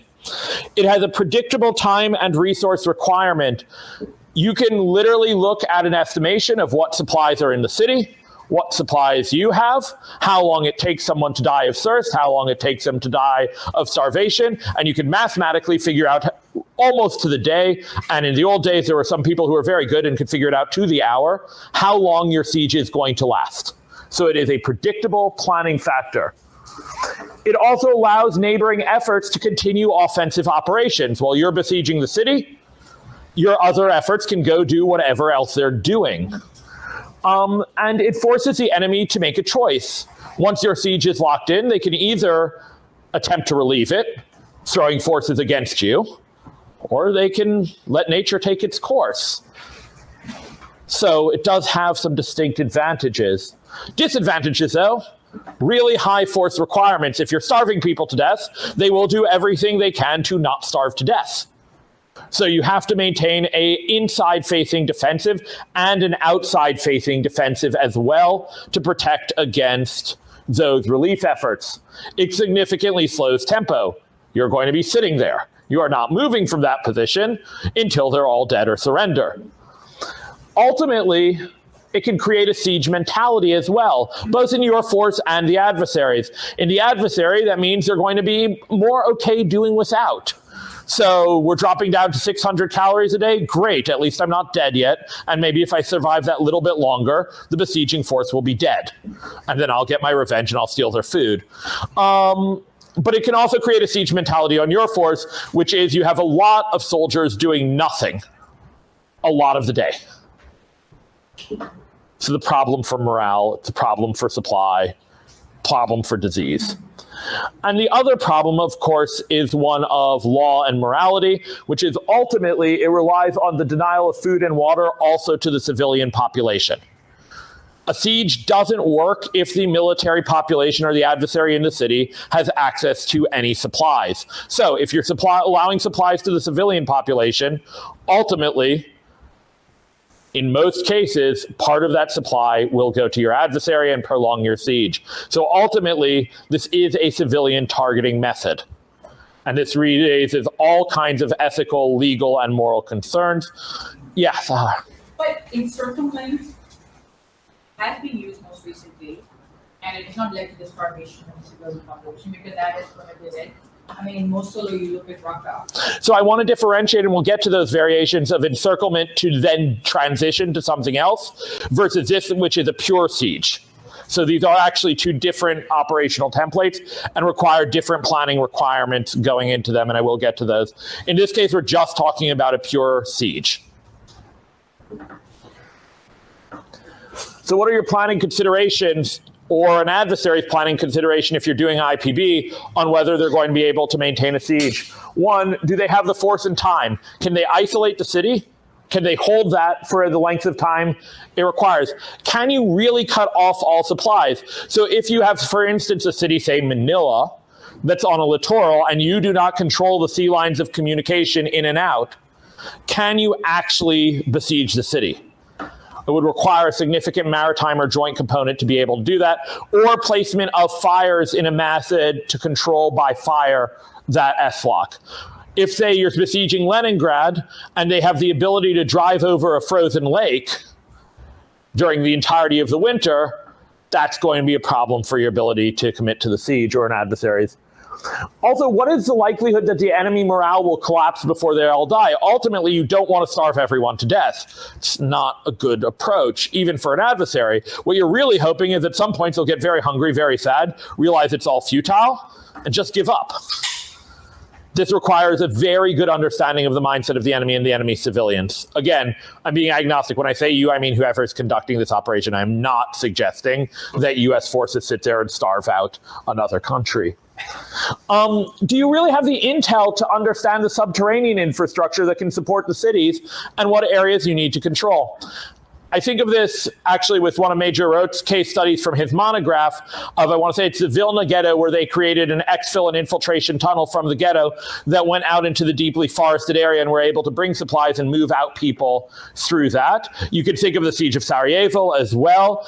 And if you just want to map in your head how far from New York City the aqueduct tunnels go before they emerge, you're well into upstate New York before those surface anywhere. So where, if you're locking down all of the entrances and exits to the city, where do you actually need to go? For our British colleagues, if you think of where the underground infrastructure of London comes above ground, I believe uh, there's one old disused freight line that goes from central London to Chatham Royal Dockyard, all the way on the Thames estuary, which can take ocean going vessels. So you have an underground subterranean network that goes straight to an oceanic port. Um, and I believe that will put you some 40 miles, is that or so, from central London, Chatham? 30? A little. Bit further, even? Right. So when you're thinking of the area you need to cut off to do this, do you actually have the forces and do you have a sufficient map of the subterranean infrastructure to understand where you have to cut off? And are you prepared for the humanitarian situation post surrender? Right? Let's say their morale breaks. Now you have a very, very starving population. So all of those medical and phase four considerations we talked about just shoot right up, right? We're in a whole new world of that bad. And finally, can you provide your own security? You must defend from relief efforts and you must defend from breakouts. This is a tremendous, tremendous effort to defend in two directions simultaneously. So let's say you don't want to do that. Let's talk about a different variation of this, which is control without entering. There's a case of this, which is Bint Jbeil in 2006. It does not work in that case, but it could work. That case just doesn't. Um, what you do is you're trying to control, you don't actually care about anything in the city. You have no particular goals in the urban area. However, your goal is to keep the urban area from affecting the conduct of your other operations. So, say an urban area that sits adjacent to an MSR that gets you towards a major objective. You don't want to enter that urban area because you don't want the urban fight, but you do want to keep it from being able to impact that area. So, what you do is you set up either on the seam in between the area you actually care about in the urban area, or you try to control by fire to keep anything coming from that urban area to affect you. Now, what you're doing, and this becomes a problem or the challenge, is you are totally sacrificing initiative. The forces in the urban area have 100% of the initiative. You have no initiative against them. And you're also taking casualties, right? Because they're going to just try to break through your defense over and over and over again. And since you have no particular interest in going to the urban area, you're not going to really be able to go against them. You're just going to have to take it for quite a while. So it has an indefinite time, too. How long do you have to hold this defense? Till it's no longer relevant, which, if you're on an MSR, is until the war's over. Right? So it's indefinite time. It's an unclear objective because what are you actually trying to do with the city? Just make it not somebody else's problem, which is great objective to give to your subordinate commanders. Hey, brigade, I just need the city not to be a problem. Don't enter it, but just make it not a problem for everyone else. Right? This is something you can really make a good op order off of. It also has, therefore has a whack-a-mole approach because the adversary has the initiative. They can come out and attack you whenever you want, whenever they want, and so you're just constantly suppressing, suppressing, suppressing. The only time that I can think of to do this is when you have no objective in the urban terrain right? When there's nothing you want from that urban terrain, but you it does have a threat that can emanate from it, and there's something else you want adjacent to it. But it is an approach. Yeah. Uh, historically, another good example of when you use this is if you've got a good partner force. So you can actually use partner force, you might have more mass than you to. That is like two slides later from now. Carry on. um, I love that you're. This is how you know you have expertise in the room because they're like, "Yeah, you forgot this thing," and it like sets me up as like a preview for where we're going. My goal is to break these down operational approaches into their minimum possible variation. So, like, what is the simple? What is each boutique one? There are ways you can combine them, certainly, but the goal is to really give you a menu of very boutique approaches, so you can really examine the considerations of it. So each variation is separate right now, and obviously, like. I don't know, in music, if you have multiple separate variations, you can play them together as well in kind of some kind of beautiful cacophonous symphony. Um, and that's true with these variations as well. So, in fact, one variation, work with support of local forces. So you isolate, but you use a local partner to provide you the majority of the combat power. Um, lots of examples of this through history. Um, in the Second World War, just because I every now and again want to give a little shout out to what I do really do research on, which is work with indigenous forces. You have a great one in the Horn of Africa, which is the siege of Debre Marcos in Ethiopia. But more recently, you, bless you, you have the Battle of Beirut in 1982, where the Israeli army was placing itself in support of what they recognized to be the government of Lebanon, which others would call the Phalangist militia or the Catholic militia take your choice depending where you are on the Lebanese civil war of who was legitimate or not. But it leads, it has some really, really key advantages. Um, one of its advantages, for instance, is you don't do the majority of the nasty part of the urban fighting, which is always a benefit for your force. If you're working with local partners, they'll probably know the city better than you, though that's not a guarantee. They may have more cultural awareness. Again, not a guarantee, depending on the ethnic uh, makeup of the city, et cetera, et cetera. But it does lead you to some important questions. So, how much support do you need to provide this local force? Right? What are they capable of by themselves? What type of support do you need to provide, and how much of it? If you are the critical enabler and you're providing, say, fires, and they call, hey, where's our fires? And you say, yeah, we're out of that. How will that affect your strategic relationship with that local partner? Will they feel abandoned by you at their moment of need? And will that have knock on strategic effects either immediately or down the line? So, how much support will you need to provide and can you deliver on it? What kind of support will you need to provide? Do you have that support in your formation? So, if you have a division that's fighting a battle and is also providing support to a local partner as they fight an urban fight, your fires are now being called in two different directions. Right? You so how do you prioritize? Do you support your local partner in the urban fight? Do you support your own forces? What kind of support will you provide? Sticky subject, but it's really relevant in the case of 1982. What if your local partner has a little bit of a flair for war crimes? Not necessarily following the same standards that you are, At what point does your support constitute a war crime? Case in a point in 1982, there's a massacre going on by the Phalangists. They ask the IDF to provide illumination for an ongoing battle. The IDF does. It's providing illumination to allow a massacre to continue to go throughout the night, part of the war crime. These are considerations that I will save for the legal team in the back, but certainly something if you're doing this where you are just sending in your local partner that you need to consider as part of planning. What are the second and third order effects, especially in multi ethnic states, of employing that force? We can put this in a Iraqi case. If you've got a Sunni town and you're sending in a Shia Iran backed militia, perhaps there may be some second and third order long term effects for using that, making that particular choice of force. And how long will you need to support them? Yeah, I can provide all the fires you need today. Can I continue this if the battle drags out? And finally, and I think most critically, can your plan survive their failure? If you're sending it to a partnered force, you lose an element of control. What if they lose? Can you still do what you were intending to do with the city? So, there is a re- it is a very good there's a long track record of doing this of I, your force provides the isolation for the city the local force provides the main combat power in the city. But it is not a yay easy button solution. You have a lot of planning considerations you need to bring to bear beforehand. Saha Yeah, sorry. Um, this is such an interesting area about working with partner forces, and there's so much, so many lessons that have been identified in uh, recent Operation Obviously Iraq and Syria. There's a whole body of work about how you have harmony rules of engagement or train them on law on conflict, on good practice to mitigate civilian harm. And there've been there have been gaps in this uh, in the operation for Raqqa and also in Mosul.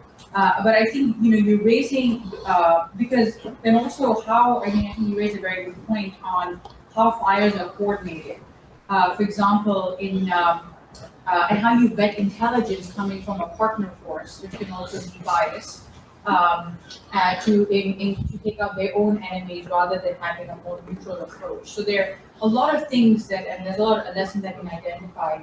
Uh, but it, it's interesting. I wanted to just mention that you know again, um, uh, Jacob, some of the statistics that you've been citing on the different phases of the assault. And again, if you just look at the recent operations, and if you look at Raqqa, which was U.S. anti uh, ISIS coalition air power um, in support of the SDF, the Syrian Democratic Forces, which were predominantly Kurdish and some Arab forces, between February and October 2017. The operation was in a very high, uh, uh, it was a very high um, tempo, and uh, a lot of munitions and artillery was used. Um, 80% of the city was destroyed. 65% of the homes 40 schools, five universities, 29 mosques, eight hospitals, um, and the city's irrigation water system was also destroyed. Uh, I mean, this is just a little come out from a, a recent report I would encourage everybody to read from the RAND Corporation, it's not just an NGO saying. Um, and again, it's this kind of push-pull factors uh, that Jacob you're raising, and also when you're working uh, with a partner force. So sorry, it's a comment rather than a question. I, I'm happy to talk on the side about a lot of the issues with partner forces uh, today or tomorrow. So I like thank you for raising the numbers, and that's really important to think about with assault. I'll give you a number for isolate for a full siege too, which is the siege of Leningrad. To maintain the siege of Leningrad, it required a continuous German and Finnish presence of over 700,000 soldiers maintaining the siege for a total of 872 days. Right? The siege fails, but in its failure, it kills more than 500,000 people. Actually, it's the numbers are really higher, over a million, because at 500, ah, sorry, I got my statistics backwards. At 500,000 is German total losses of the besieging force. And it immobilized the entirety of the German northern offensive operation because they had to keep pumping into the siege. So, assaults are bad, take up a lot of force. Don't think a siege or an isolation is your way out of these force numbers and is your way to take care of it. I'd like to go to one more really of sieges or in or isolations, which is siege to infiltrate or siege to assault. This is actually the most common historical example. You isolate the city or you besiege it, depending if you want to let in food and water or not.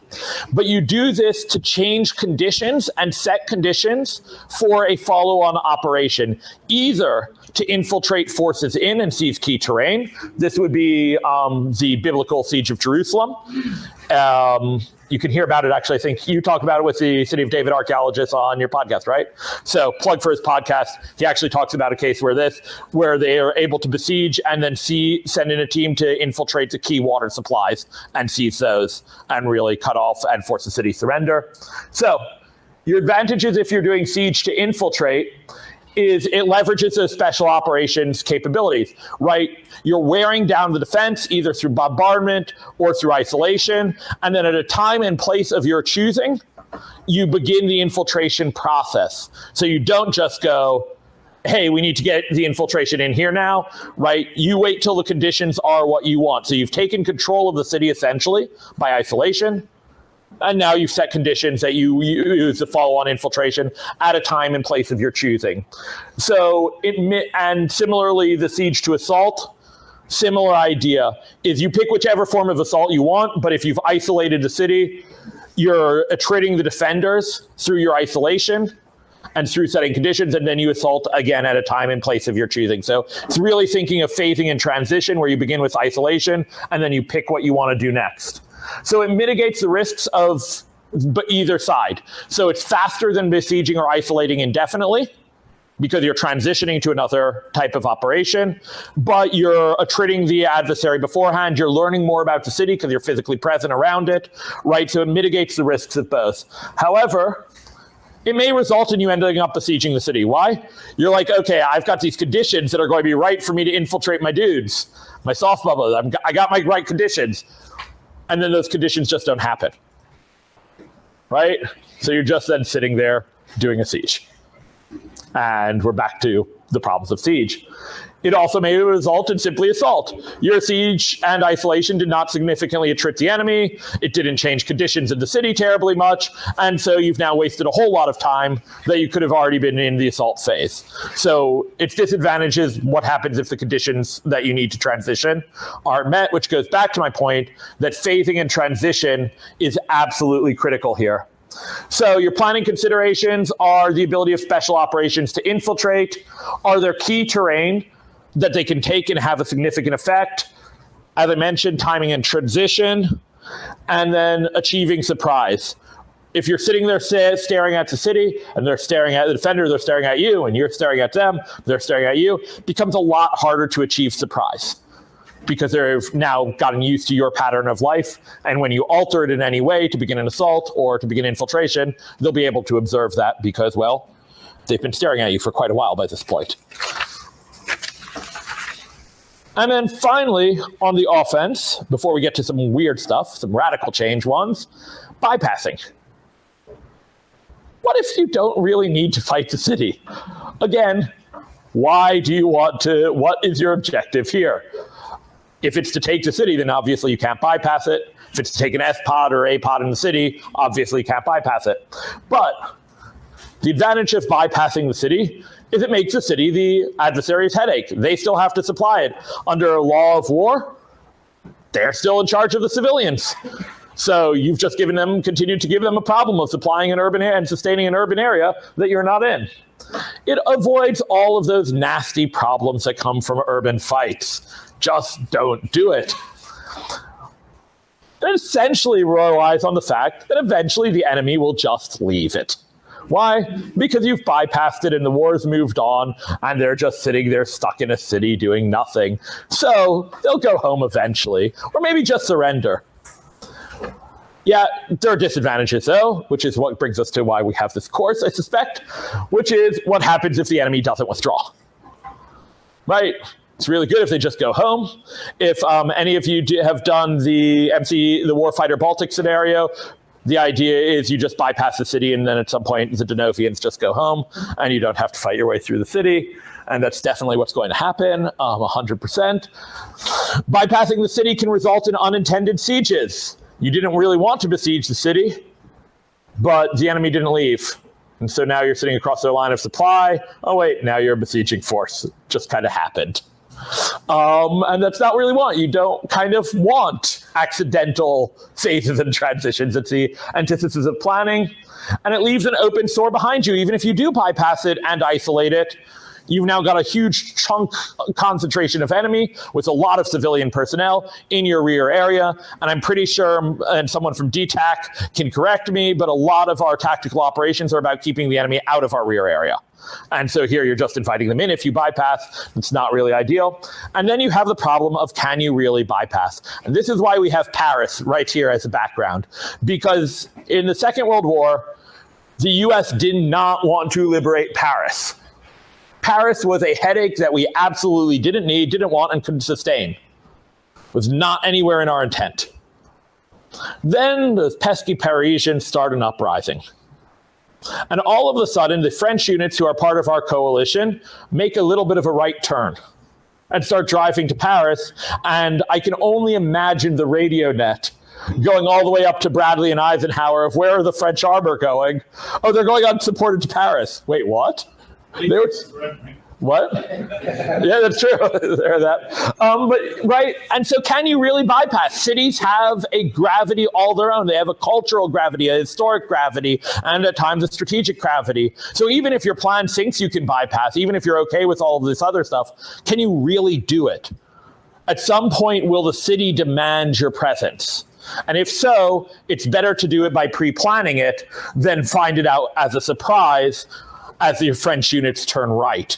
And you lose two armored divisions basically to that. And then their US partners start chasing them down to make sure they all don't get wiped out. And all of a sudden, your entire army is now turning in a different direction. Not ideal from a planning perspective. Yep. Swore I would do this. So I'm um, uh, so if you and we, we had a little giggle at the French expense. Read hell in a very small place. The Battle of Dien Bien Phu. It's French paratroopers and maybe a strong point in, in the highlands of North Vietnam in a valley. And they lived there for months and months and months under extraordinary conditions. And just if you if you read that book all the way through, and you want to make fun of the French uh, courage ever again, come see me. So I swear to God that I would never make fun of French courage after I read that, and I would stand up and say this every single time. So uh, read Hell in a Very Small Place. I'd also suggest the Battle of Bir Hakeim in the North Africa, where the French decide to be the hedgehog to protect the entirety of the Allied army, and one uh, demi brigade, I believe it is, but I could be off on that, takes on the entirety of Afrika Korps and is able to withdraw from being isolated in good order, having stopped the entirety of Afrika Korps. Let's talk about some other options and some radical change options that, again, like bubbles, but even more so, we are not set up to achieve, do right now. Nor would I think a boss be comfortable with them. So, some other options. Re-engineer the city. You don't like the urban terrain, change it. I'm only half joking. Pa- uh, the reason I put up in Paris is Napoleon III gets really tired of rebellions in Paris that are very hard for his National Guard to deal with and his gendarme to deal with. So the entirety of the street map you have of Paris in your head, of big boulevards, parks, etc., that is defensive re-engineering of the city. He's like, I'm tired of all of these little alleyway fights. I'm going to build big, beautiful boulevards that I can just ride cavalry down. Absolutely re-engineers the city for mili- for at that point an offensive military purpose to create avenues of approach into all of the more rebel areas. In that Battle of Jenin I mentioned in 2002, what ends up getting extracting the Israeli forces and making it a costly success as opposed to a total failure is they're like we can't move down these streets with our armor. We're going to build some new streets. And so they use their D9s and their engineering assets to cut a new street uh, wide enough for armor into the center of the city, and then they cut another one. And at that point, the forces in Jenin start to surrender because they realize time is up, because now Israel can move its combined arms into the city. Why? Because they took the deliberate process of re engineering the city. Now, There are definitely IHL and LOAC challenges if you decide you're going to build a road through what was formerly people's houses, especially without, you know, their permission. It is also engineering heavy, right? If you're re-engineering the city, the key word is engineer. Um, and so if you don't have the engineering assets able to do this and you can't request them, then you cannot do this option. It also requires time. Building roads is not fast. Knocking over neighborhoods, if you want to create, say, an open LZ or an APOD where there used to be a neighborhood, this is not so fast. It's doable, but not fast and it requires specialist equipment and security for that equipment. So if this is your operational approach, the equipment you need to re-engineering the city should be on your critical protected asset list from square one, because if you lose that equipment, your operational approach is now dead. Another thing you can do is raid to displace. So you your issue is the enemy is in an urban area and you don't want them there. We've talked about very deliberate ways to actually drive them out. Another one is to attack their morale and their feeling of security. Through repeated raiding, you can make them feel their position is untenable and they will withdraw. So this is not trying to capture the city. This is move, repeatedly raiding, which uh, of course the doctrine is entering and then a planned withdrawal. So the point is to create psychological effects on the enemy or logistical effects on the enemy to make sure to make them feel that their position has become untenable and so they will withdraw from the position. It minimizes risk. Right? You're not sending in large forces. Any one of your raids fails. That's very unfortunate. But it is not an operational risk. You can continue to do it. It is dependent on, however, weaknesses in enemy morale and organization because really you're trying to create a psychological effect on your adversary. It avoids some of the problems of urban combat, but it does have the disadvantage that really the enemy has their vote of when it is when it's worked or if it will work. You there could be an adversary that you raid every day, and they're just like, oh, six in the morning, it's time for the daily hate, and uh, let's get on with our day after that. There's the new concept coming out of Israel that John and I were privileged to get briefed on that's worth talking about. That is a radical change, which is how they're doing MDO. They're starting MDO at the battalion level and building it up towards what it will look like at a division level rather than where we're sitting at division and building it down. What they divide their battalion into is three elements an expose element, a convergence element, and a strike element. This is based for urban operations. The idea is that in an urban environment, targets present themselves for only a very, very brief period of time and present themselves for at a time of their choosing. They can always hide. And so what they do is the expose element, job is to go and force those targets to reveal themselves by engaging them, by using a lot of electronic warfare as well, and by using deception. So it's got a combat element, an electronic warfare, and deception and psyops element in it. Now, the purpose again is to make those targets expose themselves. This allows the convergence force to coordinate a response to it, um, which will involve, again, cyber, electronic, and actual strike. And then finally, the strike force, whose job it is to destroy the target and or conquer the area that the target was in. What's important about this is that it is only lateral communication. At the battalion level, the battalion commander steps back. It is not bubbles where the battalion commander is trying to do, hey, you're my main effort now, now you're my main effort now, you're, my main effort. Battalion commander is out of the loop on this. Requires incredible trust in subordinate organizations and capabilities. The convergence element, and by some descriptions of it, also has a logistics element to support the other two. There's some confusion, I think, about that um, as they're trying it out and playing with it. Again, it's based on the idea that targets are only briefly, briefly available and are only targets of opportunity. However, what it requires is a mixed task force at the lowest echelon. So expose units and strike units are, have organic air, SOF engineer, recon, EW, cyber. So we're talking essentially companies that are mixed task forces of all of those elements. So it's really pushing those enablers down to an exceedingly low level. It was a concept in that it was used in part of the deception campaign in the latest Gaza operation to a high degree of success. Um, and it, again, it makes heavy, heavy use of deception because the real thing about this is they also now call this a fires infantry concept. Everything is about exposing targets to be killed by fires. Yeah, Is there an English language publication on this you can recommend? no. There may be at some point, there is not currently. I think New York Times, somebody ran a story on that, right? They were very successful with. So they ran a story on the deception part in the Gaza campaign, but not this unit. This unit where it was part was involved in that. Um, I kid you not, the unit tran- name translates. Let no one say Tom Clancy has no effect as um, the Ghost Reconnaissance Battalion or Ghost Recon Battalion um, is the name of the unit, and it's an experimental unit. What they've done is they've given it the best of everything to see if this concept works. And now they're working on how would this look at a brigade level, right? What changes if you're trying to do this at a brigade level, and then they'll eventually move to a division level. So right now it has its own fixed wings assets as well. So when I say they've just given it everything, I literally mean it's like that uh, scene in what is it, The Professional or Leon. The guy's like everyone. That's what they've done for this. It's it's got everything you could ever want to enable this approach. But it is an approach that's shown so far a fairly high degree of effect. But it would require a radical change of the structures that we're comfortable with in command and coordination to make it happen. Last one of the offensive concepts I will talk about is the Soviet late Second World War concept. I'm not saying this is what they did they did all the time. I'm saying this is their concept. Essentially, what the division does is it divides itself into five elements, or roughly brigade elements. So the first element is the breaching element. This is heavily enabled by fires and engineers, and the breaching element breaches the initial defense of the city and culminates at that point.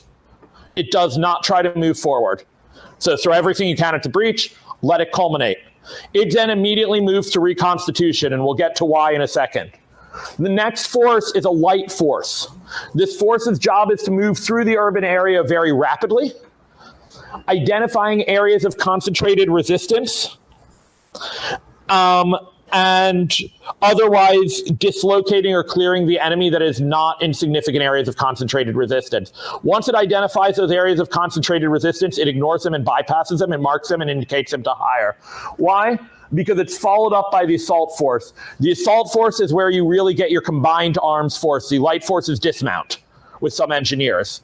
The combined arms force is slower moving and it makes it it supports the initial breach. It's really the second force in the breach or the follow on of the breach. But the key piece of it is once those defended areas are identified, this is who deals with them. Your light forces do not deal with them.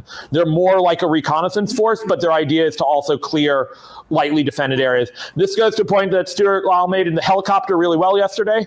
You're not defending anywhere, everywhere when you're defending a city. So this is to really clear those areas that the enemy is not con- uh, concentrated in the defense, and then allow a force to take the defense. At this point, once the assault forces have opened up something could to an MSR, another force leapfrogs through, executes a forward passage of lines, and prepares to move on beyond the key to the next phase line. Now, this force is whatever force did the breach in the previous operation. So this is a constant leapfrogging. Your breach force reconstitutes and becomes your reserve, and then becomes the leapfrog force for the next operation. And whoever was the leapfrog force for the next operation is then the breaching, then they'll reconstitute, et cetera, et cetera. So it's cycle. Your last force to come in in your task organized is your clear and hold force. It's infantry, military police, intel, civil uh, affairs, some engineering. And it, it is literally, at least in the case of Berlin, goes room to room through the whole city, taking whatever time it takes. It is the force that is there forever and a day and it is very MP and infantry centric. And that's all it's ever going to do in its service. It is never going to be a breaching force. It's never going to be a maneuver force. It is task organized to go slowly and methodically. So let's talk to defense. Do you guys need another five minute break or are we good to keep rolling? Keep rolling? All right. Defense. Let's talk preparing for the defense. The first consideration we don't talk about a lot when preparing for the defense is long term preparation for the defense. Again, there are countries who know they are going to potentially be a frontline country and know their urban areas are potentially the front line that needs to be defended. There are things you can do to prepare for this. So, one is city design. Create neighborhoods in key terrain. Turn that key terrain that has overwatch over your city into part of the city, into an urban area. And don't just do that, lay out a street plan that supports the defense. This is something that has been done historically. Can you, yeah, So you cannot argue at all that the Ukrainians have not been preparing to defend Ukraine. right. Uh, Arguable about their authorization as a military to be in position for the defense, but clearly in the first phase, they prepared for a long time how they were going to defend, especially Kiev. Absolutely. And there are ways to take that to the next level, even, and that's work with the city planners, work with the national government to create neighborhoods, to create that thing. You can also do dual use buildings. This is one of my favorite buildings to see. It's because it's still around in Jerusalem, so you can go see it. It's an apartment building, right? It's an apartment building that sat on the border with Jordan, right in front of this wall, which didn't have doors. If you go before 67, this is where the minefield between Jordan and Israel began but it's a city, so people have to live. The city has to have normal life, but it's also the front line. What you'll notice about this apartment building is, first of all, originally it has no entrances on the ground floor facing the Jordanian side. Second of all, it has a curtain wall around the bottom, so an obstacle that can also keep breaching charges and create a second obstacle for breaching, can keep shells away from the base of the building. Third, what you'll notice is the windows are very small and slit shaped, right? Kind of looks a little bit strong point esque. Fourthly, it's very thick concrete reinforced with rebar. And fifth, you have these weird drainage holes all along the roof wall that look very good for rifles. Right? This is what you can do if you know, or if you're working with a partner who knows the offense may, may be coming at some point. This is a tremendous advantage because you're no longer trying to be like, hey, where do I build a strong point or an obstacle? You know how quickly this building turned into a defensive thing in 1967 when the Jordanians did try to attack this neighborhood? About four minutes. Right? The civilians left the apartment building in a pre drilled, here's how you leave, here's your school bus, get on it, go. And the machine guns came in. Very, very effective, but if you have time. But you have to build understand that the city ecosystem must function. Your defensive works, if you're on the long-term preparation side, cannot get in the way with this, of the function of the city. Still got to be a city and it's got to work. You can only start to disrupt that when you get to short-term defense. And then if you're helping a partner do this, or if you're a partner who is doing this, what construction engineering assets do you have to help them with this? Again, this is not what we think of as no- typical military engineering. We're not really used to having combat engineers build apartment buildings. And yet, very effective. Let's move on to short term. First question you need to ask is beyond the urban environment itself, what are the critical parts of the urban envelope, the area around the urban environment that can affect it? And who is defending them? Is that your area of responsibility as well? Is that somebody else's area of responsibility? And how are you coordinating with them? So, for instance, and I always get this wrong, but I do believe the majority of LA's water comes from the mountains, uh, reservoirs in the mountains above LA and behind LA. Is that right? Anyone in LA knows? County comes from Bishop, which is about five hours north. They own the land there. And where is the key water reservoirs right to, to get into here? Right, we up, up five on the grapevine. They pump water in from the Central Valley. Also, some comes in from the east from the Colorado River. Okay. So that's a, criti- a critical area for LA. Is that your division's AO if you're defending it? And if not, who is it? How do you coordinate to make sure that they don't think about just withdrawing from that without letting you know in advance? Is there a terrain feature, say, thinking of Razish in miniature, is there a hill or terrain feature that allows you to bypass the majority of the urban defenses to get in towards that strategic terrain? Who's defending that?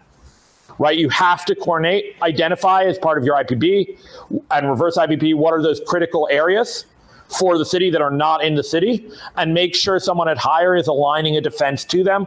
Otherwise, your defense of the city is all but useless or can be, depending on conditions. Secondly, can you leverage and alter pre-existing infrastructure? John's point about Kiev, right? There's pre-existing infrastructure there. What can you do to it to make it super unpleasant and uncomfortable for an attacker? Can you, are there strategic and cultural locations? Right, going back to some of those things with uh, that Stuart brought up of some very tall, significant international buildings or areas that are culturally important. I forget who brought up museums filled with artifacts. What about the capital of a country? Right, if an enemy's flag is flying over the capital, that can have a very significant psychological effect on that country. So are there is there terrain that even if it doesn't make strategic sense to defend, you have to defend. You have to hold it. And can you negate its value through IO? Say, hey, yeah, they're taking they, they may take the capital, but the I don't know the heart and soul, of the real center of the of our country is the people, not the capital, right? Can you start getting that message out, and will it resonate, or is it a place where they're going to be focused? Hey, they took our capital, we're done right? Um, I would suggest if you want to throw to old school, look at Charles, Cal- Charles Callwell's book on insurgency, small wars and insurgencies. Not for the insurgency part in this case, but because he starts to help you think about how different cultures focus national and political identity. And this becomes very important for if you're going to gate the value of a culturally significant terrain. And again, do you have the right type of engineers? Do you have engineers who can assault, uh, fix the existing terrain or put out the obstacles? Or do you just have people that are packing a lot of explosives, which can also be useful? But what do you have? Last thing of preparing for the defense I want to talk about is civil resiliency. And I apologize for the graphic. This is going to be one of two that are Jacob Stoil drawn, and I'm really bad at drawing. So, I want to give you the concept of civil resiliency, which is slightly different from just civilian considerations. It's how are you, you making use of and working with the civilian population?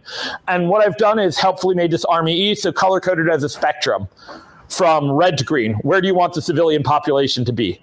Ideally, if you're on the defense, you want the civilian population in that dark green, that they are taking an active role in the defense of their city. Now, that can be digging anti tank ditches. That could be putting up obstacles. That could be giving you intel about where enemy movements, or that could be making Molotov cocktails and dropping them on unlucky soldiers.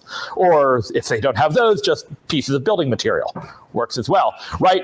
This is where you want the civilian population because you want them as a force multiplier for you. If you can't get them there, you want them here. You want them figuring out ways to support their own needs and survival because that takes them off your logistical and medical, uh, you know, stocks, basically. They're supporting themselves, you don't need to support them. Minimum, you want them to be able to advocate for its own needs. You want them to be in that pull thing. So you're not trying to figure out how to supply the civilian population. The civilian population is coming to you and saying, hey, we have X number of casualties here. This is how many of them are walking wounded. This is how many need your medical attention. This area is short of food. This area is short of water. So you're not trying to just push out supplies to the civilian population. They're actually advocating for themselves. But we can fall down the spectrum, right? You can have the population advocate for surrender or take part in non cooperation with you, refuse any contact with you. Under international law, you are still responsible for their well being, even if they're not talking to you. Right? So you don't want to be in that situation. And even going down to civil disobedience, protests, etc and advocating surrender will have a morale effect on your forces as well as on the nation. And where you really don't want them to get is right down here is taking part in resistance, insurgency, civil disorder, or other measures that undermine defense. To return to my earlier slide, this is why I said for the defense, phase four is phase zero. How do you get the civilian population? How do you build its resiliency? How do you build your, its capacity to help you? That's those phase four considerations. That's working with civil affairs. That's figuring out what the civil population needs. That's providing it, and that's providing it the resources and education to be a partner in defense and bringing it on side. Even if they don't like you, eh, you can still get them into that yellow green box, right? Even if they really don't like you, you can convince them that they are partners with you in their own survival. So, Civil resiliency is a necessary precondition of successful defense, and it must begin before phase three. So in this case, again, phase four is phase one, zero, one, two for the defense. And again, I apologize for the weird floating words. It's what happens when I try to draw things. I'm not a PowerPoint ranger. So, key considerations as you're planning for the defense overall enemy capabilities and objectives. Why are they coming to the city? Similar, like I said, why are you defending, attacking the city? Why is the enemy attacking the city? This should let you know part of what they're going to do and what operational approach they're going to take. Is there strategically or culturally significant terrain for them? Right? Are there places where they think they need to go because it's strategically or culturally significant to their overall war plan? So again, this brings back end states and conditions, right? What is the natural terrain of the city? I love being in the helicopter with Stuart there. Why? Because he kept pointing out terrain matters. Terrain matters. It's not just urban terrain, physical terrain matters. What terrain can you alter in the city? Right? So there's an interestingly canalized river sitting in Manila where it clearly is a river that wants to be someplace that it's not. Um, and you can tell this because it works in a dead straight line, which nothing in nature does. Um, so, can you alter that for your own purposes of defense? What of the terrain are you stuck with, and what can you alter? Or in Kiev, right? Can I flood stuff? Can I take down bridges? What can I do to alter the urban terrain? And then lastly, again, that civil population consideration. I can't emphasize that one really enough. So, what are your choices? What are your operational choices for defense? I promise we're getting near the end here. I think I have like 10 slides left. No, 20? I don't know. But we're getting near the end. I know it's getting late. So, preemptive withdrawal. This is very similar to the thing of bypassing. Why are you defending the city? Do you actually need to defend the city? Do you want to defend the city? What is the purpose? So, can you just leave? Has some advantages. It avoids attritional warfare. If you are like an AB, if you're an ar- heavy armored division and are not particularly well set up for an urban fight, but you have been to NTC 15 times and you kill on the maneuver in open terrain, maybe don't fight in the city. Maybe be where you can have the advantage. It prevents from being trapped in the cities. We'll come back to that in a historical case. It allows for flexible defense, right? You withdraw, now you're into open space, you can get moving, especially if you think about LA. If I don't want to fight in LA and I can withdraw to the east, well, then I'm literally fighting in NTC, and we've all done that, and so you should be good at it. Um, but it's a fight you might want to have. It leaves the adversary with significant logistical challenges. They now own the city, which means they have to do all of those phase four considerations that we've just been talking about are quite hard. However, You've just ceded the urban area and its population. This may uh, significantly hurt morale, especially if it's your own territory, right? If it's not your own territory and it's host nation, it may be considered a breach of faith with your allies and have significant morale and strategic and even grand strategic impact for doing that that lasts far after the war in terms of oh yeah you're the people who betrayed us and let all the population in the city die we don't like you anymore right? There are really good historical examples. My favorite one, however, is the German mistake on what they called fortress cities. Hitler was really into urban terrain as culturally significant, and he'd ordered his forces to defend it no matter what. Budapest is a very good example. Budapest, by this point in the war, had zero strategic value and they commit to the urban fight in Budapest. And what that does is it leaves a significant portion of the German army trapped in Budapest, where the Soviets are like, great, you're not on our main axis of advance. This is awesome. We'll destroy you in Budapest, but we'll also keep going. So we'll destroy you at a time in Budapest that we find convenient, and the rest of us will keep going because you're no longer de- uh, defending against our main axis of advance. So you don't always want to fight the urban battle. Ask yourself, why am I fighting the urban battle even on defense? Don't be the old US joke from World War II. We're here because we're here, because we're here, because we're here, right? And shouldn't be doing that. So, considerations for deciding to withdraw preemptively can you defend the urban terrain? If you don't have the capabilities to defend the urban environment, don't do it, right? If you, if you can't do it, don't do it. Should be obvious, but it's not always, i.e., Budapest. Um, is your force suited to urban defense? If we go in micro and you're literally just, you know, got some heavy armor and that's it, maybe this is not the place for you. Um, would you benefit from maneuver defense? Why are you defending the city? What is the significance of the city? What is the status of the civilian population? Do they all really want to be part of the enemy? And you've really messed up the civil resiliency considerations, and you're going to fight the adversary and a huge insurgency, and this is going to become untenable. Can your position be bypassed? Can they ignore you in the city and just go around and hit whatever their main objective is? Are you now superfluous to requirements by defending the city? And lastly, can you leave a stay behind force to deny them control? A force that essentially sacrifices itself, but makes them fight an urban fight while the majority of your force withdraws. Essentially, a guerrilla force or denial of control within the city. Another for alteration is a city as basing or as a fortress of last resort. In this case, you defend outside the urban environment while retaining the ability to fall back into the urban area for basing and staging. So you have your fires, your command and control all in the urban area, and you build layered defense leading back to the urban area. This is the case of the Battle of Leningrad. The Soviet defense of Leningrad extended far from the city and were success, uh, had subsequent waves of defense in depth until they got to the city itself. So its advantages are protects the urban uh, population and environment.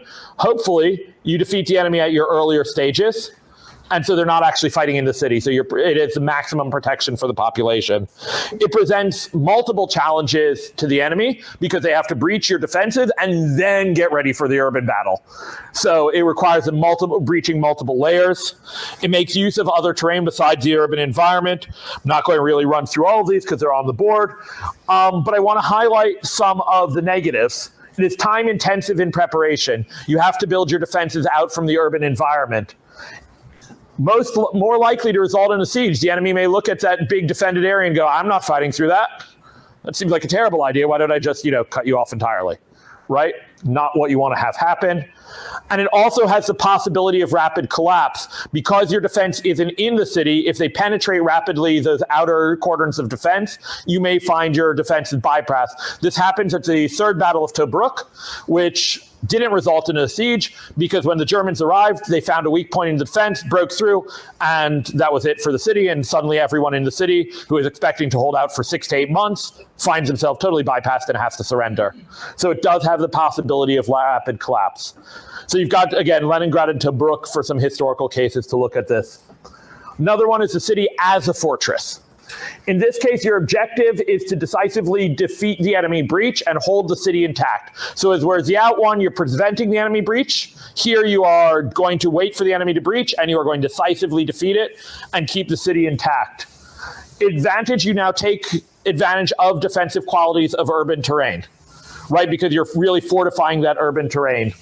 It allows to transition to defense in depths or other forms of defense and it protects strategically and culturally significant terrain in the city because the enemy, if you do this right, is not penetrating into the city. They'll make a breach and you'll defeat them at the breach. So it does allow for a decisive operation.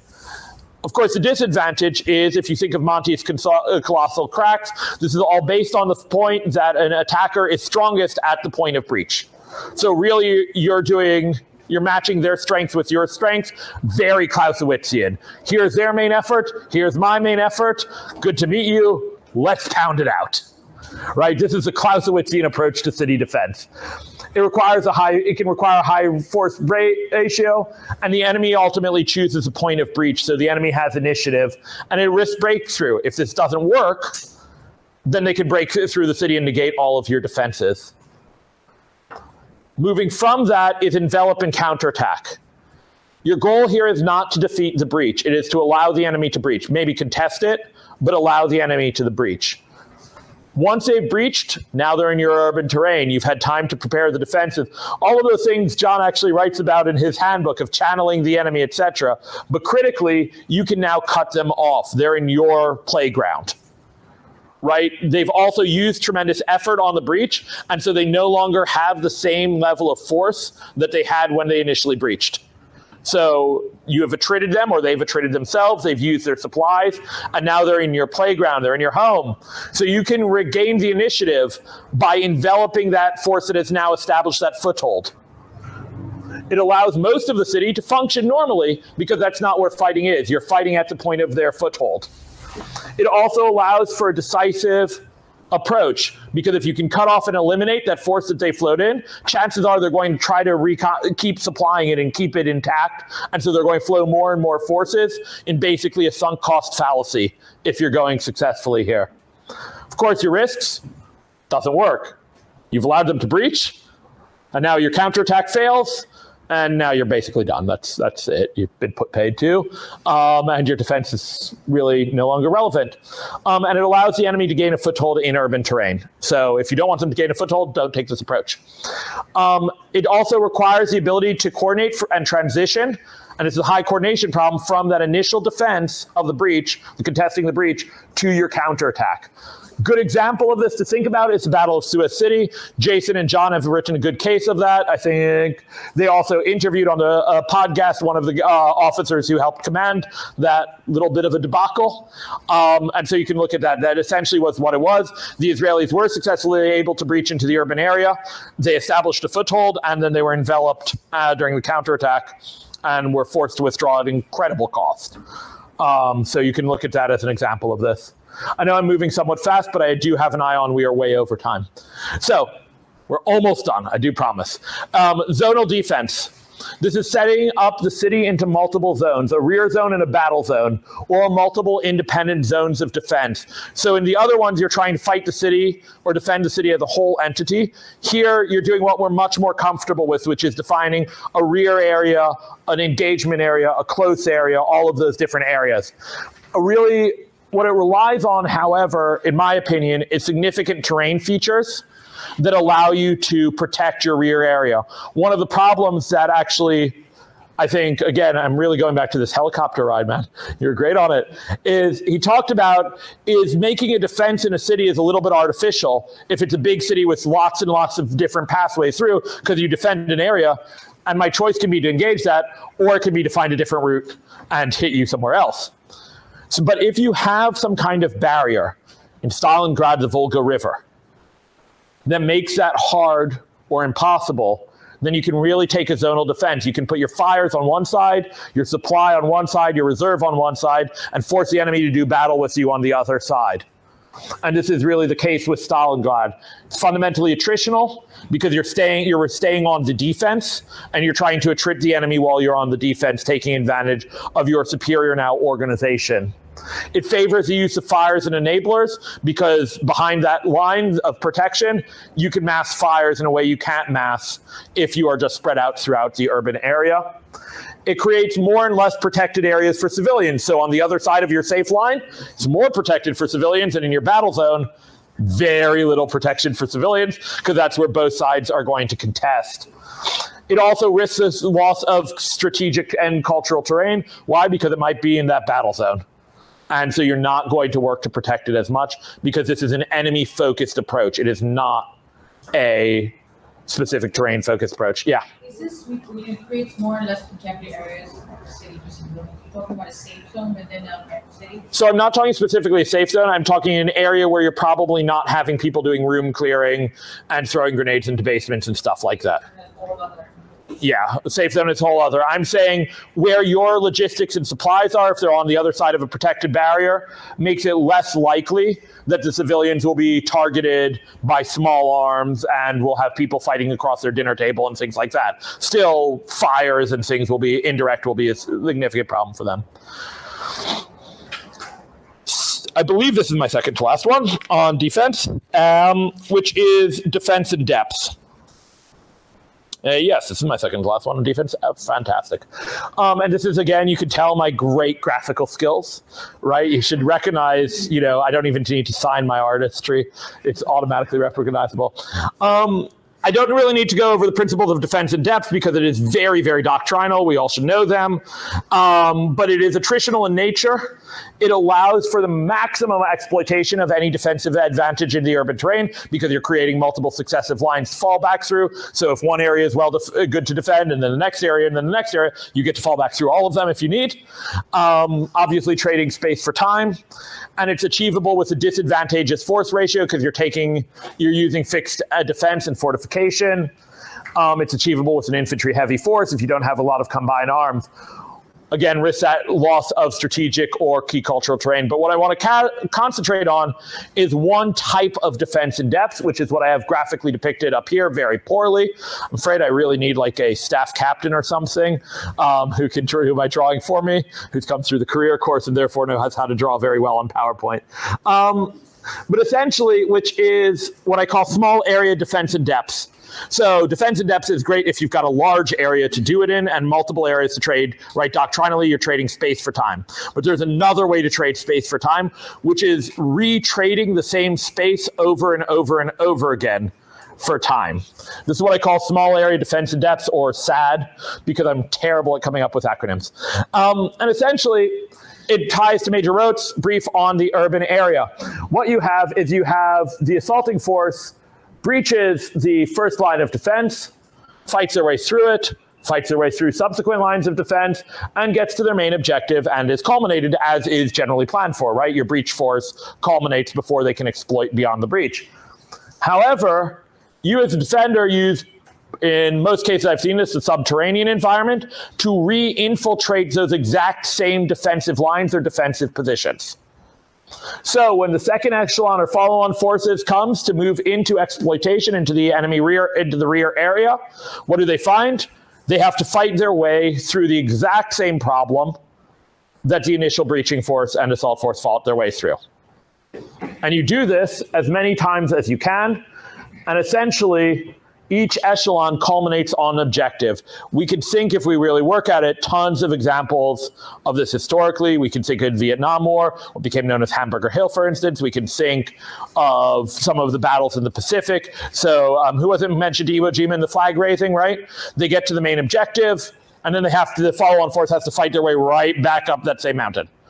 Why? Because the Japanese were leveraging subterranean environment. It's even easier to do in the city. And when we think about verticality, there are other ways to hold your force unobserved to re-infiltrate the same area. We also see this commonly in the Second Lebanon War, as well as a common tactic that Hezbollah has. And there is some indication that Iran considers this as part of their mosaic defense within Iran as well, of the ability to just consistently re-infiltrate the same positions. So what does this mean if you're countering it? Well, you can't allow logistics to travel unescorted, right? Any legit, if you get your forces here and you want to reconstitute them and you're sending supplies by this route, they're going to run into the exact same enemy defensive positions. CASEVAC, you want to send casualties back through this area? The enemy has already reoccupied it. And so it presents a fundamental problem. Yeah. Is, is this comparable with delay operations, depending on the goal you want to achieve with it? I the delay can be the objective of it, or the objective can be just to continue to hold this indefinitely, right? That's really a resourcing question. What is your ability to continue to re-infiltrate? So you can use this as a delay technique, but essentially what it is is it's using the concept of defense in depth of trading space for time, but rather than doing that laterally, you're almost doing that vertically, right? You're using the same space by enabling the vertical space.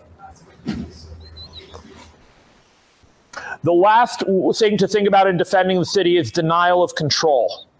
You may be in a situation where you cannot stop the enemy from exercising their will on the city by breaching, by establishing that foothold, by maneuvering to that key strategic terrain. If you are not in a position to stop that, you do have another option, which is denying them control of the city. Now, this, of course, starts with IPB. Why do they want the city? If they don't care about control of the city, then denying them control isn't particularly useful. But if they do want control of the city, now we've got game on. It's particularly effective when facing significant overmatch. If you are a poor infantry bat- battalion who finds itself in a city unable to withdraw and are facing, I don't know, a corps, if you do any of the other operational approaches, all you're doing is inviting very creative ways to die. But by denial of control, you move something closer to a guerrilla campaign. Not necessarily a guerrilla. You can fortify areas of the city to deny them control to make it not worth their air while to take it, especially if you have some fire assets, eh, fires assets in those areas that can affect other parts of the city. So you're denying them control of the city, but you're not trying to hold the city. It is fundamentally attritional in nature. You're not going to be able to achieve a decisive defeat on the enemy. Your goal is to make them decide to leave. It is an option. We should not think of this as just an option for insurgents. It is a valid option on the defense for anyone, especially in urban terrain, especially in urban terrain that has subterranean elements to it. But it starts with why does the enemy want the urban terrain? Last couple things I'll mention are what we do when we move beyond thinking about offensive defense. And I'll move through those very quickly because this is a LSCO focused course, but you should think of them as operational approach. The first one is to get defending against urban areas hybrid threat. If you are now in phase four and you have an urban area that is held either outside your control or by an adversary militant group, and you don't really care about taking it. You, in fact, don't care about that urban area at all, but you do care about the threat emanating from it. There are ways you can handle that threat that are not taking the city. And we can look at isolating it from your area, from the area of your control, through physical barriers, right, as you see here and here. Uh, or, in fact, here. Berlin Wall, exactly. That is isolating one urban area from another, right? You can use raiding to disrupt the enemy within that area, and you can combine that with physical separation. You can also do what I call semi-isolation. So this is the modern Kalandia checkpoint, um, which is a little bit different from the old Kalandia checkpoint, but essentially it processes 26,000 people through it every single day while maintaining the isolation of Kalandia. So those who have IDs, or actually those who have biometric IDs, can go through it. 26,000 a day. Those who don't can't. And what it allows is it keeps this area, which is Kalandia, from this area with Aita, which are in fact two different countries, um, at least according to the Israelis gets debatable under international law what this area falls under. But the goal is to be able to allow Kalandia to function as an urban area, right, and work in its traditionally twinned cities, while at the same time isolating the threat that can emanate from it and controlling that threat. And this is mixed with raiding into that to disrupt the threat. So just to think about one of the things we don't talk about is how do you protect from an urban area if the urban area is not under your control, especially if we're thinking peacekeeping or other forms of operation. And lastly, just to think about different ways to do consolidation of gains um, and preserve security within the city, again, as we move to that phase four and beyond. And we're not really going to talk too much about this, but I suggest if you look at the history of what's successful, you flip the who's leading the operations. So in a lot of the more successful cases, maneuver forces become subordinated to intelligence elements which I think is a really interesting way to think about it. And historically, this has happened repeatedly. Um, and it really flips our idea of who's subordinate and who is enabler. The goal is to build both resiliency. You can re-engineer the city, as seen here. I remember using this photo. I want to say it's Belfast there, where they re-engineered the city by creating walls and I think they're called peace lines. Is it? Using the word peace a lot in the re-engineering of the city and, and peace gates instead of checkpoints. Um, so, what are your planning considerations to be able to do this effectively? One, do you have cultural and geographic understanding? If you don't, then intelligence led operations and re-engineering the city is just going to be awkward and unsuccessful. You need diverse teams because you need to be able to have women, you need to have, be able to have cultural experts. You really need to branch out who's in that decision-making team. And again, your actual maneuver element is really the subordinate on this. They are not as important as everything else. They are simply the reach out and touch part of the other parts of your team. And to do this effectively, speed matters. The time in which it takes to identify and act on a security threat during this phase four, especially if you're in the transition phase to three to phase four, is decisive, which means trust in small units and junior personnel. So you do not have time for an incident go to go all the way company, battalion, brigade, division, and then come back down with, okay, yeah, authorization strike, go here, go there, reorient a patrol. And so what you require is a lot of faith in junior personnel to make those decisions. And again, this is looking across the panoply of history. On average, what makes these types of operations successful. So we're not necessarily talking COIN here, but we are talking security and stability as part of that phase four effort. With that, I went way over time. I apologize, but not really, because I hope you learned something from this. I hope it was useful. And I'm happy to take questions in an organized, or if the general just wants everyone out of here, I will stand out in the sun, get some fresh air, and take as many questions in a disorganized manner as you would like. Thank you very much. There's me on Twitter, because John forgot it for the first couple of days because he hates me.